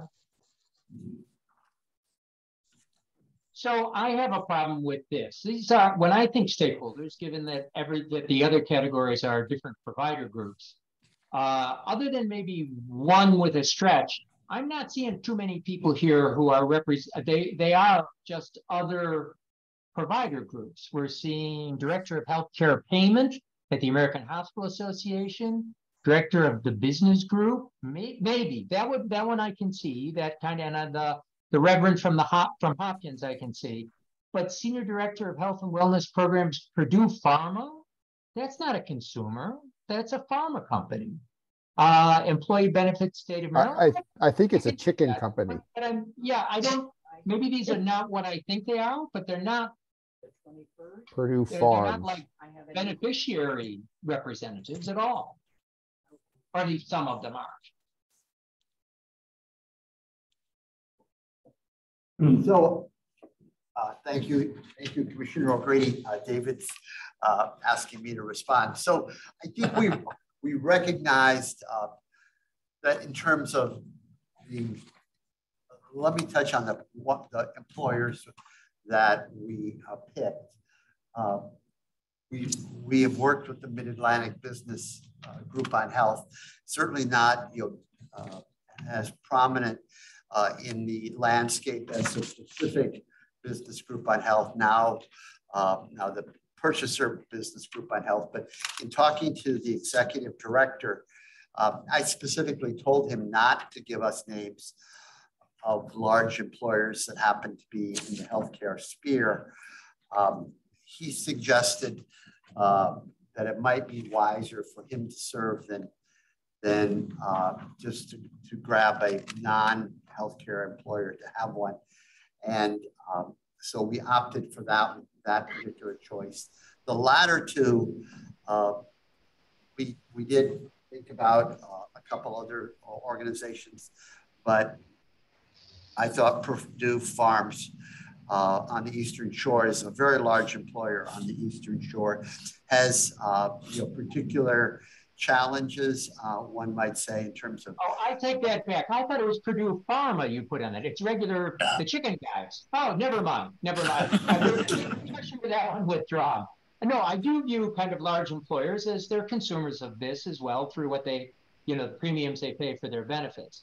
I'm just not seeing any. I mean, we are in this unique position where we have we we probably have, you know, three thousand retired CMS people who know healthcare in and out and are also citizens of Maryland and not still working for. The, I just didn't see how how like a director of payment out of the hospital association is considered a stakeholder in this. I, I mean, in the other categories they would be fine, but I just don't see this. I'm viewing as consumer stakeholders, and maybe I'm wrong about that.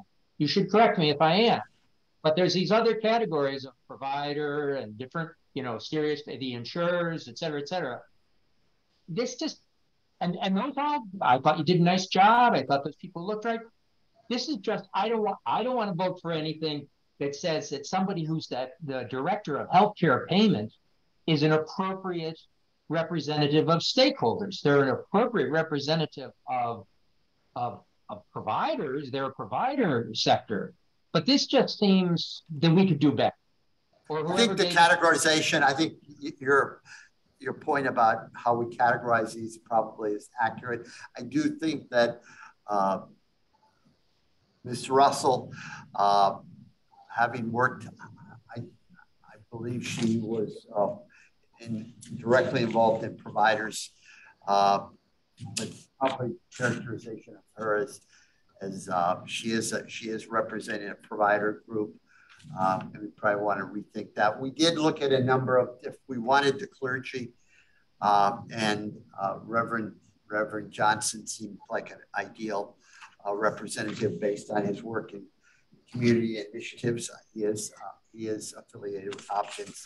I think the stronger case is the REV in front of his name uh, than necessarily his affiliation. I think, um, you know, your point on the MHA, we, otherwise oftentimes pick an MHA representative rather than picking um, a half a dozen um, hospital representatives to think that they are they can convene interest. Um, but I think I think we have a good cross section of uh, of uh, representatives. I do we do have a researcher uh, that's been the rest of it, I have no question about. The rest, of, I guess, I would like to provide a friendly amendment that says, please drop Ms. Russell's name. I don't view her as a stakeholder, and I would be happy to help staff find an appropriate, kind of more consumer person.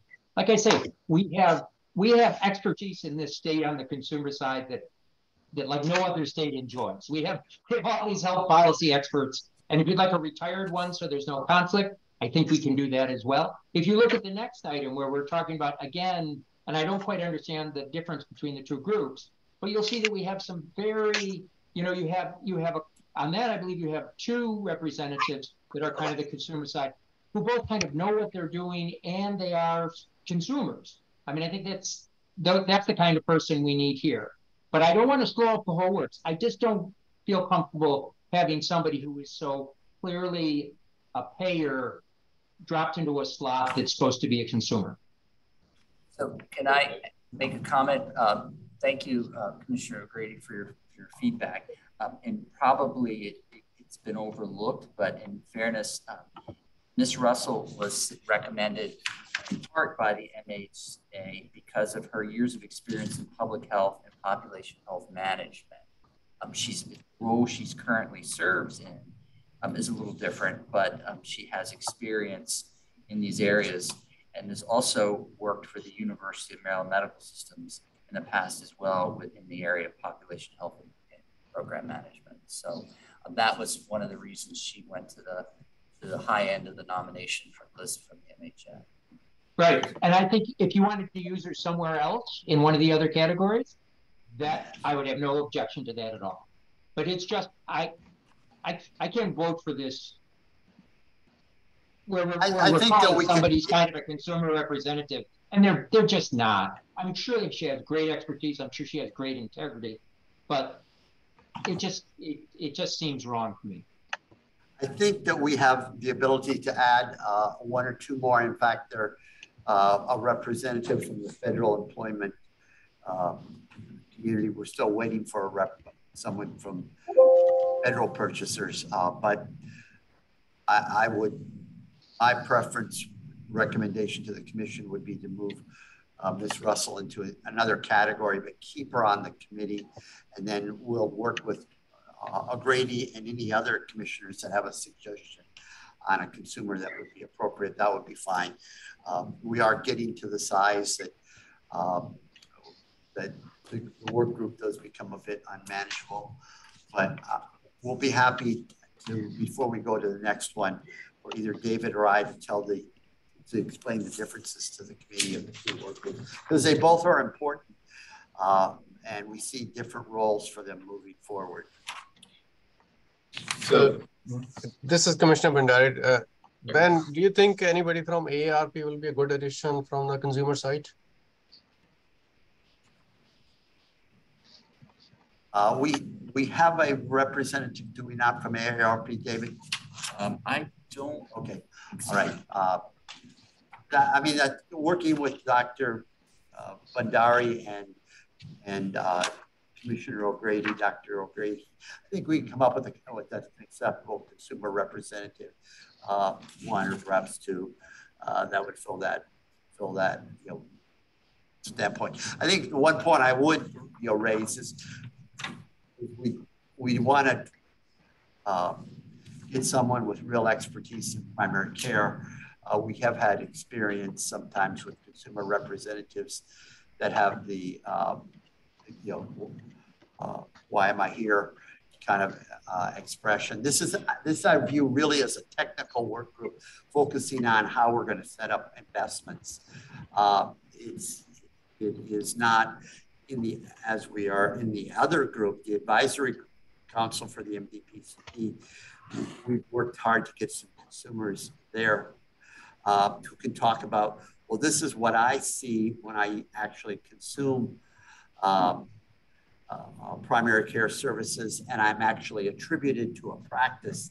Uh, we have at least one of those. Uh, one, actually, a member uh, who you may know, Dr. Dr. O'Grady, Kevin Hayes, formerly at uh, MedPAC, is actually in a practice.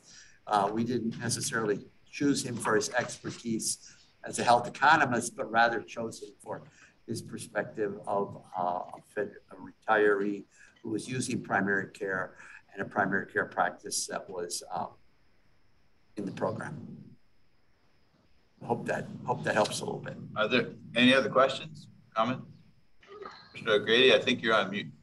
Oh, sorry about that. But that is a good example of the kind of so we have this talent. I mean, we have you know, three ex CMS administrators and the, the last two chief actuaries. And, and they are all tend to be old guys now who are retired and in practices. So that idea that, I mean, I, when I think of a, a really strong consumer advocate on a, on a panel like this, where there's tons of providers, tons of other payers, there's other things like that. That can't be the sweet little old lady who doesn't know anything about how healthcare works. It needs to be somebody who is up to speed and holds their own with the other very talented, as you talk about. These people are are very high quality, very expert and experienced people. So, you know, my mother-in-law who's 93 is not the right person for this, you know. But you've got some the way you talk about that, and I hope your other consumer on the other one, because they both look like they have the right kind of backgrounds to be strong consumer advocates, but also know how these programs work. That's the kind of person I'm looking for here. That's and I don't mean to be a pain in the ass and hold it up. If you'd like to move it, I guess I can put that in as an amendment to move, uh, I'm blanking on her name again, but to move her into the payer category and then accept this and move on, just a slight modification so you're not held up in. Here's, my, here's a suggestion. I think it was your motion. My suggestion would be uh, the membership category for almost everybody else on page one is just the name of the organization right? right. We could just move her into the membership category of Maryland Hospital Association. I, I would move for that amendment. Take, if you take that as a friendly amendment, that just makes it the motion. Can we do that? We move it. We move that. With, I think that uh, Commissioner O'Grady wanted to add that with with the, I don't know if we added as a amendment or a, an agreement on the part of the staff that we would come forward in October with an additional consumer, uh, working with, with reviews and recommendations commissioners might have. I think that would, we'll come back with an additional consumer representative uh, that, that meets some of the, I have a good idea of, of what he's suggesting, and I think it's a fair addition. Okay. Are, are we trying to improve uh, with the movement of Ms. Russell? Are we trying to improve what's in front of us today Correct. and note that we're going to add another one? That's that's the motion. So, so that it will be formed, it will be these folks, and they'll come back in October with one more. So. All in favor? Aye. Aye. Are, are there any opposed? Excellent. Motion passes. So uh, thank you, Mr. Chairman. We have one last slide, and we could advance to the end. Oh, there we go. So, um, Mr. Chairman and Commissioners, um, the next step staff will take is to notify the nominees of the commission action. We will identify a contractor to support select work group activities and move forward to convene the work group in the fall. And with the addition of the amendment from the commission, we will bring back to you all in October a nomination for the, consumer slot. Thank you very much, Mr. Chairman and Commissioners. Thank you. I did have one question that wasn't really about the motion, so if I'd ask it is, where does telemedicine fit in with the work of this work where does, so, Mr. Chairman, the question you're asking is where does telehealth, telemedicine fit in? Yes, telehealth is probably a better word, but how does that fit in with the mandate for this work group? Is that going to be part of the things? So it is not actually part of the study, part of the work that's required, but we are, as just a reminder, working on recommendations to provide to the commission in, in the telehealth, Preserve Telehealth Act that was passed last session. And we'll be bringing them back to the commission before the end of the year for review and approval. Thank you. Yes, sir. That, sadly, we're the last agenda. So David, uh, excuse me, Chairman, uh, maybe you could talk a little bit about how we see the two groups. Uh, I know I don't want to, you'll leave that question from, from uh, Commissioner O'Grady outstanding, but I wanted uh, so are you asking, are you saying between the advisory council? Correct. And, okay. So um, the, the question on the, on the, on the floor is distinctions between the primary care work group and, and then the advisory council. Let me just start with a reminder and uh, my colleague, Anani Aniebo, uh, next on the agenda, will be making a nomination regarding a, an individual physician to the advisory council. And she will talk a little bit more about its, its structure, but it's really designed to look at making recommendations around programs, around um, recommendations that the secretary should consider. Um, it includes uh, certain aspects about the management of the program and to look at any kind of uh, research activities that might foster uh, more advanced primary care. Where this group, the primary care work group, is, is a conglomeration of stakeholders um, that are more expansive than providers and looking at um, the uses of where primary care should be, looking at it in terms of how we solve health equities, disparities issues, and, and issues related to workforce. And also, um, every year, it completes the same type of review once it's the what you might call is the decided upon version.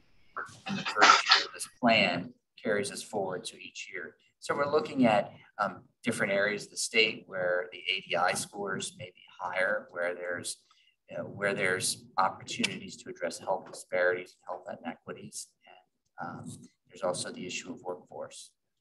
So just, uh, you know, in a, in a sentence, the MDPCP Advisory Council focuses on the evolution of the MDPCP program. Uh, it was heavily involved uh, uh, in the development of the third track.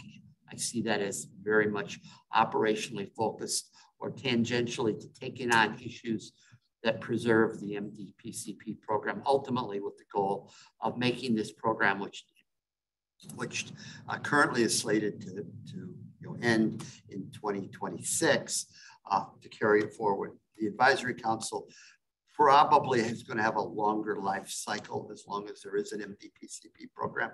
The work group, uh, although established uh, in statute, once it develops the plan uh, and we submit that, uh, I think it's an open question whether that would continue. The Healthcare Commission would continue, would take responsibility for executing on that plan.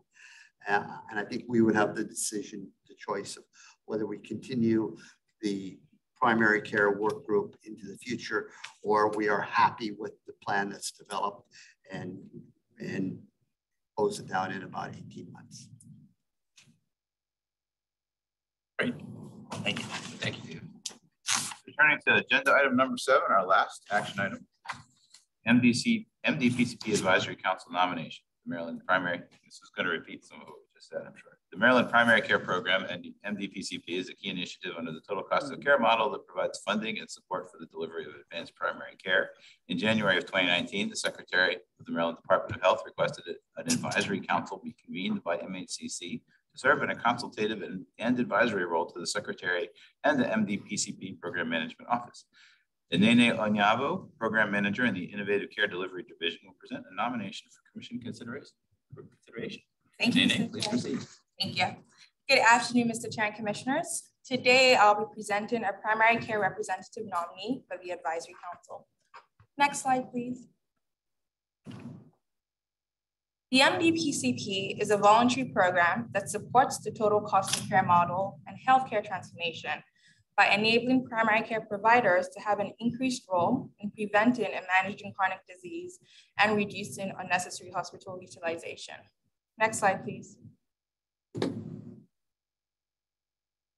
Key council activities include gathering data from MDPCP participants and beneficiaries to support issue research, making recommendations for inclusion in the state's annual report to CMS on the MDPCP, and considering operational improvements to the MDPCP. Next slide, please. MHCC provides administrative management and support services for the council. Some staff responsibilities are convening the council, selecting representatives, and making recommendations and reappointments in collaboration with the Program Management Office and HSCRC. Next slide, please. The primary care representative nominee is Dr. James Trumbull, a board certified emergency medicine physician and senior physician executive. Dr. Trumbull has over 20 years of leadership experience in healthcare in the areas of clinical integration, utilization, quality management, performance improvement, physician education, community health, and the continuum of care. He currently serves as the Vice President for Clinical Integration at Tidal Health, where he supports the integration of population health and value-based care programs with employed and independent area practices. Additionally, he provides clinical care for isolated patients on Smith Island and addiction medicine services in support of the SIHIS goals. Prior to his current position, Dr. Trumbull was the medical director of physician utilization and vice chair of emergency medicine at Frederick Memorial Hospital. Next slide, please. We recommend that the commission approve the nomination of Dr. Trumbull. Next slide, please. Next slide. This table is the current list of council members. I've come to the end of my presentation and I'm happy to answer any questions. Thank you, Indy. Let's start with, do I have a motion to approve the MDPCP Advisory Council nomination? So moved. Commissioner Jensen and Commissioner Wang has seconded. Is there any discussion? I'll call the question. All in favor? Aye. Aye. Aye. Aye. Aye. Aye. Are there any opposed? Motion passes. Thank you. Thank you. Okay, with that, come to our final agenda item. Unless count the motion to adjourn. Overview of upcoming activities. Ben, would you like to share the upcoming activities for the October Sure. I, I don't have as uh, complete a list. Uh, First off, my apologies. The uh, agenda was uh, a little bit confusing to- because we had to change it uh, late yesterday afternoon. Uh, We do expect uh, several um, CON actions to come before the commission uh, in in October. And we also will begin to start to unfold uh, what we expect will be some of the reports that are due in uh, due to the legislature, most notably the, uh, the, recommendations on changes to the uh, coverage of telehealth services uh, that were, were added uh, as waivers during this- the uh, start of the pandemic, but which there's enormous interest now in um, making those permanent. Uh, We will also uh, highlight a couple upcoming issues uh, where we think legislation uh, might, uh, might be likely. Uh, One is potentially in the trauma fund. Uh, A couple others, you know, are uh, areas where we- we have been asked to work, including insurance expansion. Uh, So I would kind of give, like, give the commissioners an overview in October of what we think uh, work we might be asked to participate in and get commissioners you know, thoughts about, given that we have limited resources already, we have four work groups that we are staffing, and uh, there's still more work that people are asking us to do. Uh, Someone told me, you know, I wasn't a very good um, practitioner of the word no, uh, but I think we do have to be careful about what we commit to do as um, it's the staff of the commission and the commission itself are pretty well respected as being uh, unbiased or unfettered by, know, an interest and want us to weigh in on things because we matter. We'll also outline to you plans for orienting, uh, um, educating the new the new legislators. Typically, we get things uh, early on in the, in the session to uh, provide our perspective on things. I want to be sure you're aware of all of that uh, and talking about strategy moving forward. I, I will also, uh, Richard Proctor will be reaching out to you, to all of you to uh, get your uh, commitments on abilities to uh, attend a day-long uh, retreat at the uh, Friday after the November commission meeting. I believe that's November 18th. Uh, we will be, we've been working over the summer with our contractor, Health Management Associates, uh, and we'll want to put together some final clarity on the strategic priorities as we move into 2023. Obviously, a new governor, a new set of, of, um, um, uh, of individuals who will be in key uh, positions in, in um, the health system, state, state government. And uh, we'll want to have our documents ready to give up, put our best foot forward. So Richard will be reaching out. Uh, I would expect that, that uh, we would uh, offer the possibility for those who want to to stay overnight in Baltimore on that Thursday and then begin the session on uh, early Friday morning. Uh, hopefully to conclude uh, at a time reasonable to be the bulk of the rush hour in Baltimore. So stay tuned on that. Happy to answer any questions um, before we, but the two people in the room cannot perhaps cannot adjourn the meeting. Uh, we'll add that reference to make sure everyone's on the line. Only people in, in person have the right to vote and to. I'm afraid they're going to adjourn it before anybody else can ask questions. Yeah, you can all ask questions. Does, does anyone have a question for Ben? You will, go ahead. Quick, uh, just a, a, request for, for Ben and for the chairman. I, I, would like to ask if perhaps we could have a short phone call at some point to talk about uh, uh, the contested case and legal docket, uh, just, just the format there, perhaps some thoughts I have on that. Sure. Yep, in time. And you are going to have a, if I'm just, and I'm just clarifying, I think you said sending around an email with opportunities where we, commissioners are interested in volunteering. So, so is that, I'm, I'm interested in volunteering, so should I wait for that email and then yeah, respond? I will, I will. Perfect. Send that out. Thank you. If the, uh, Commissioner Jordan might have a question. Yeah, uh, just real quick, um, Ben, just just to clarify, I you know I know since our last meeting, uh, hopefully all of us had a chance to spend a couple hours on the phone about the whole strategic planning and whatever. Is that what you're referring to um, uh, that we're going to do uh, in a session um, later after the, the meeting in November or whatever? Or is that a, is, is what we've been through a beginning of a separate process? And if so, what happens next? Is that clear? Thank you, Thank you Commissioner uh, Jordan. Uh, I had two uh, conversations, uh, but I think this is a continuation of the work that began last November. Uh, the consultants and staff uh, had several meetings prior to the uh, to the meetings with commissioners over the summer, the, what we called the mini meetings to talk about priorities. That information is going to be uh, assembled um, and presented at the retreat. I think there'll be some uh, we want to encourage commissioner comments on, on those thoughts, on those potential uh, priorities.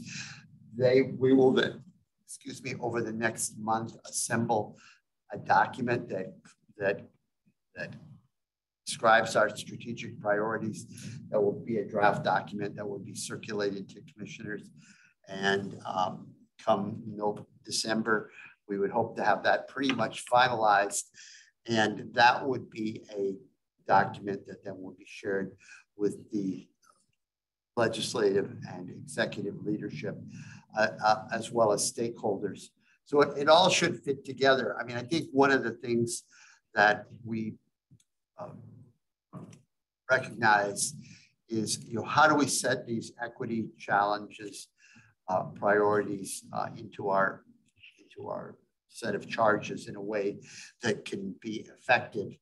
Uh, I, um, there are a few avenues, but I don't want to uh, simply say we'll collect more data on disparities as that's our objective. I think you know that is a is important, but simply collecting more data is not my idea of a forward-looking set of, initiatives in this area.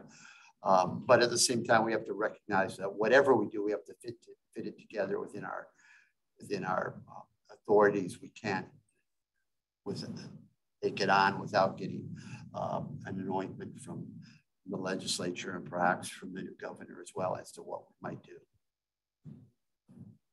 Does that does that uh, help, Commissioner? Yes, Jordan? thanks. Thanks. I, I just know we it seems like every year we continue to strategically plan, and I'm not sure we ever come to any conclusions about anything we've ever planned. So uh, that would be helpful. Thank you.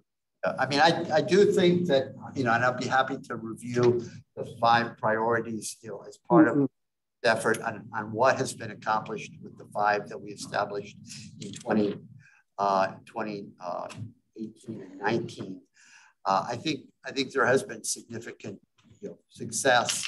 Uh, I, what I, what may have been a good intent, but not well executed, was we started the strategic, you know, planning process a year ahead of time, recognizing that we were being remote, we were, were not touching each other directly. You know, maybe it went on too long.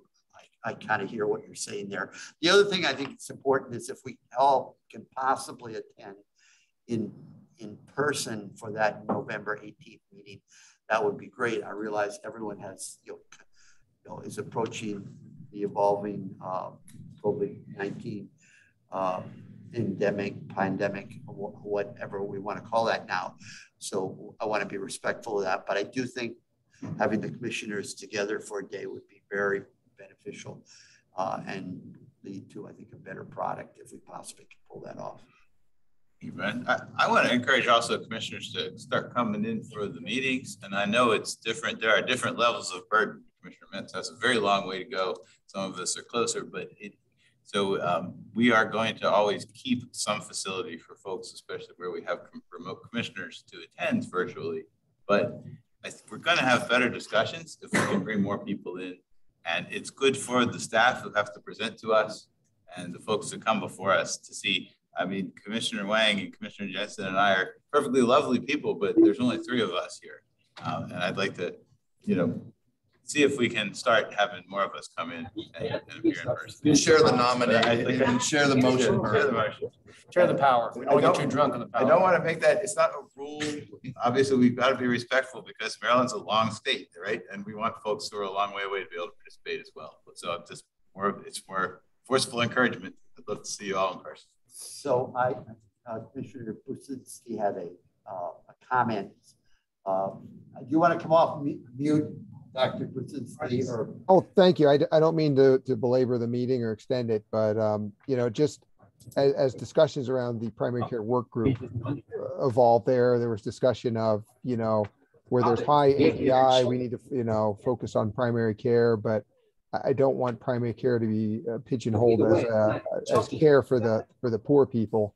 Good primary care is good for all people, and I think it's going to be an effective part of not only improving health outcomes but but decreasing uh, health expenditure as well. So you know, I think primary investing in primary care can be a tool for reducing uh, total cost of care amongst patients. Um, and um, anyway, I just want to put a plug in there. It's obviously near and dear to my heart, and uh, you know, there's many ways to improve, uh, you know, care for those with uh, disparities and the high disparity index as well as for those with low. So thank you for allowing me to say that. Thank you. I agree. With that, I'll take a motion to adjourn. I'll make a motion to adjourn. Excellent. Excellent work. Thank you, everyone. Thank you for participation. Have a great month. Thank you. Thank you.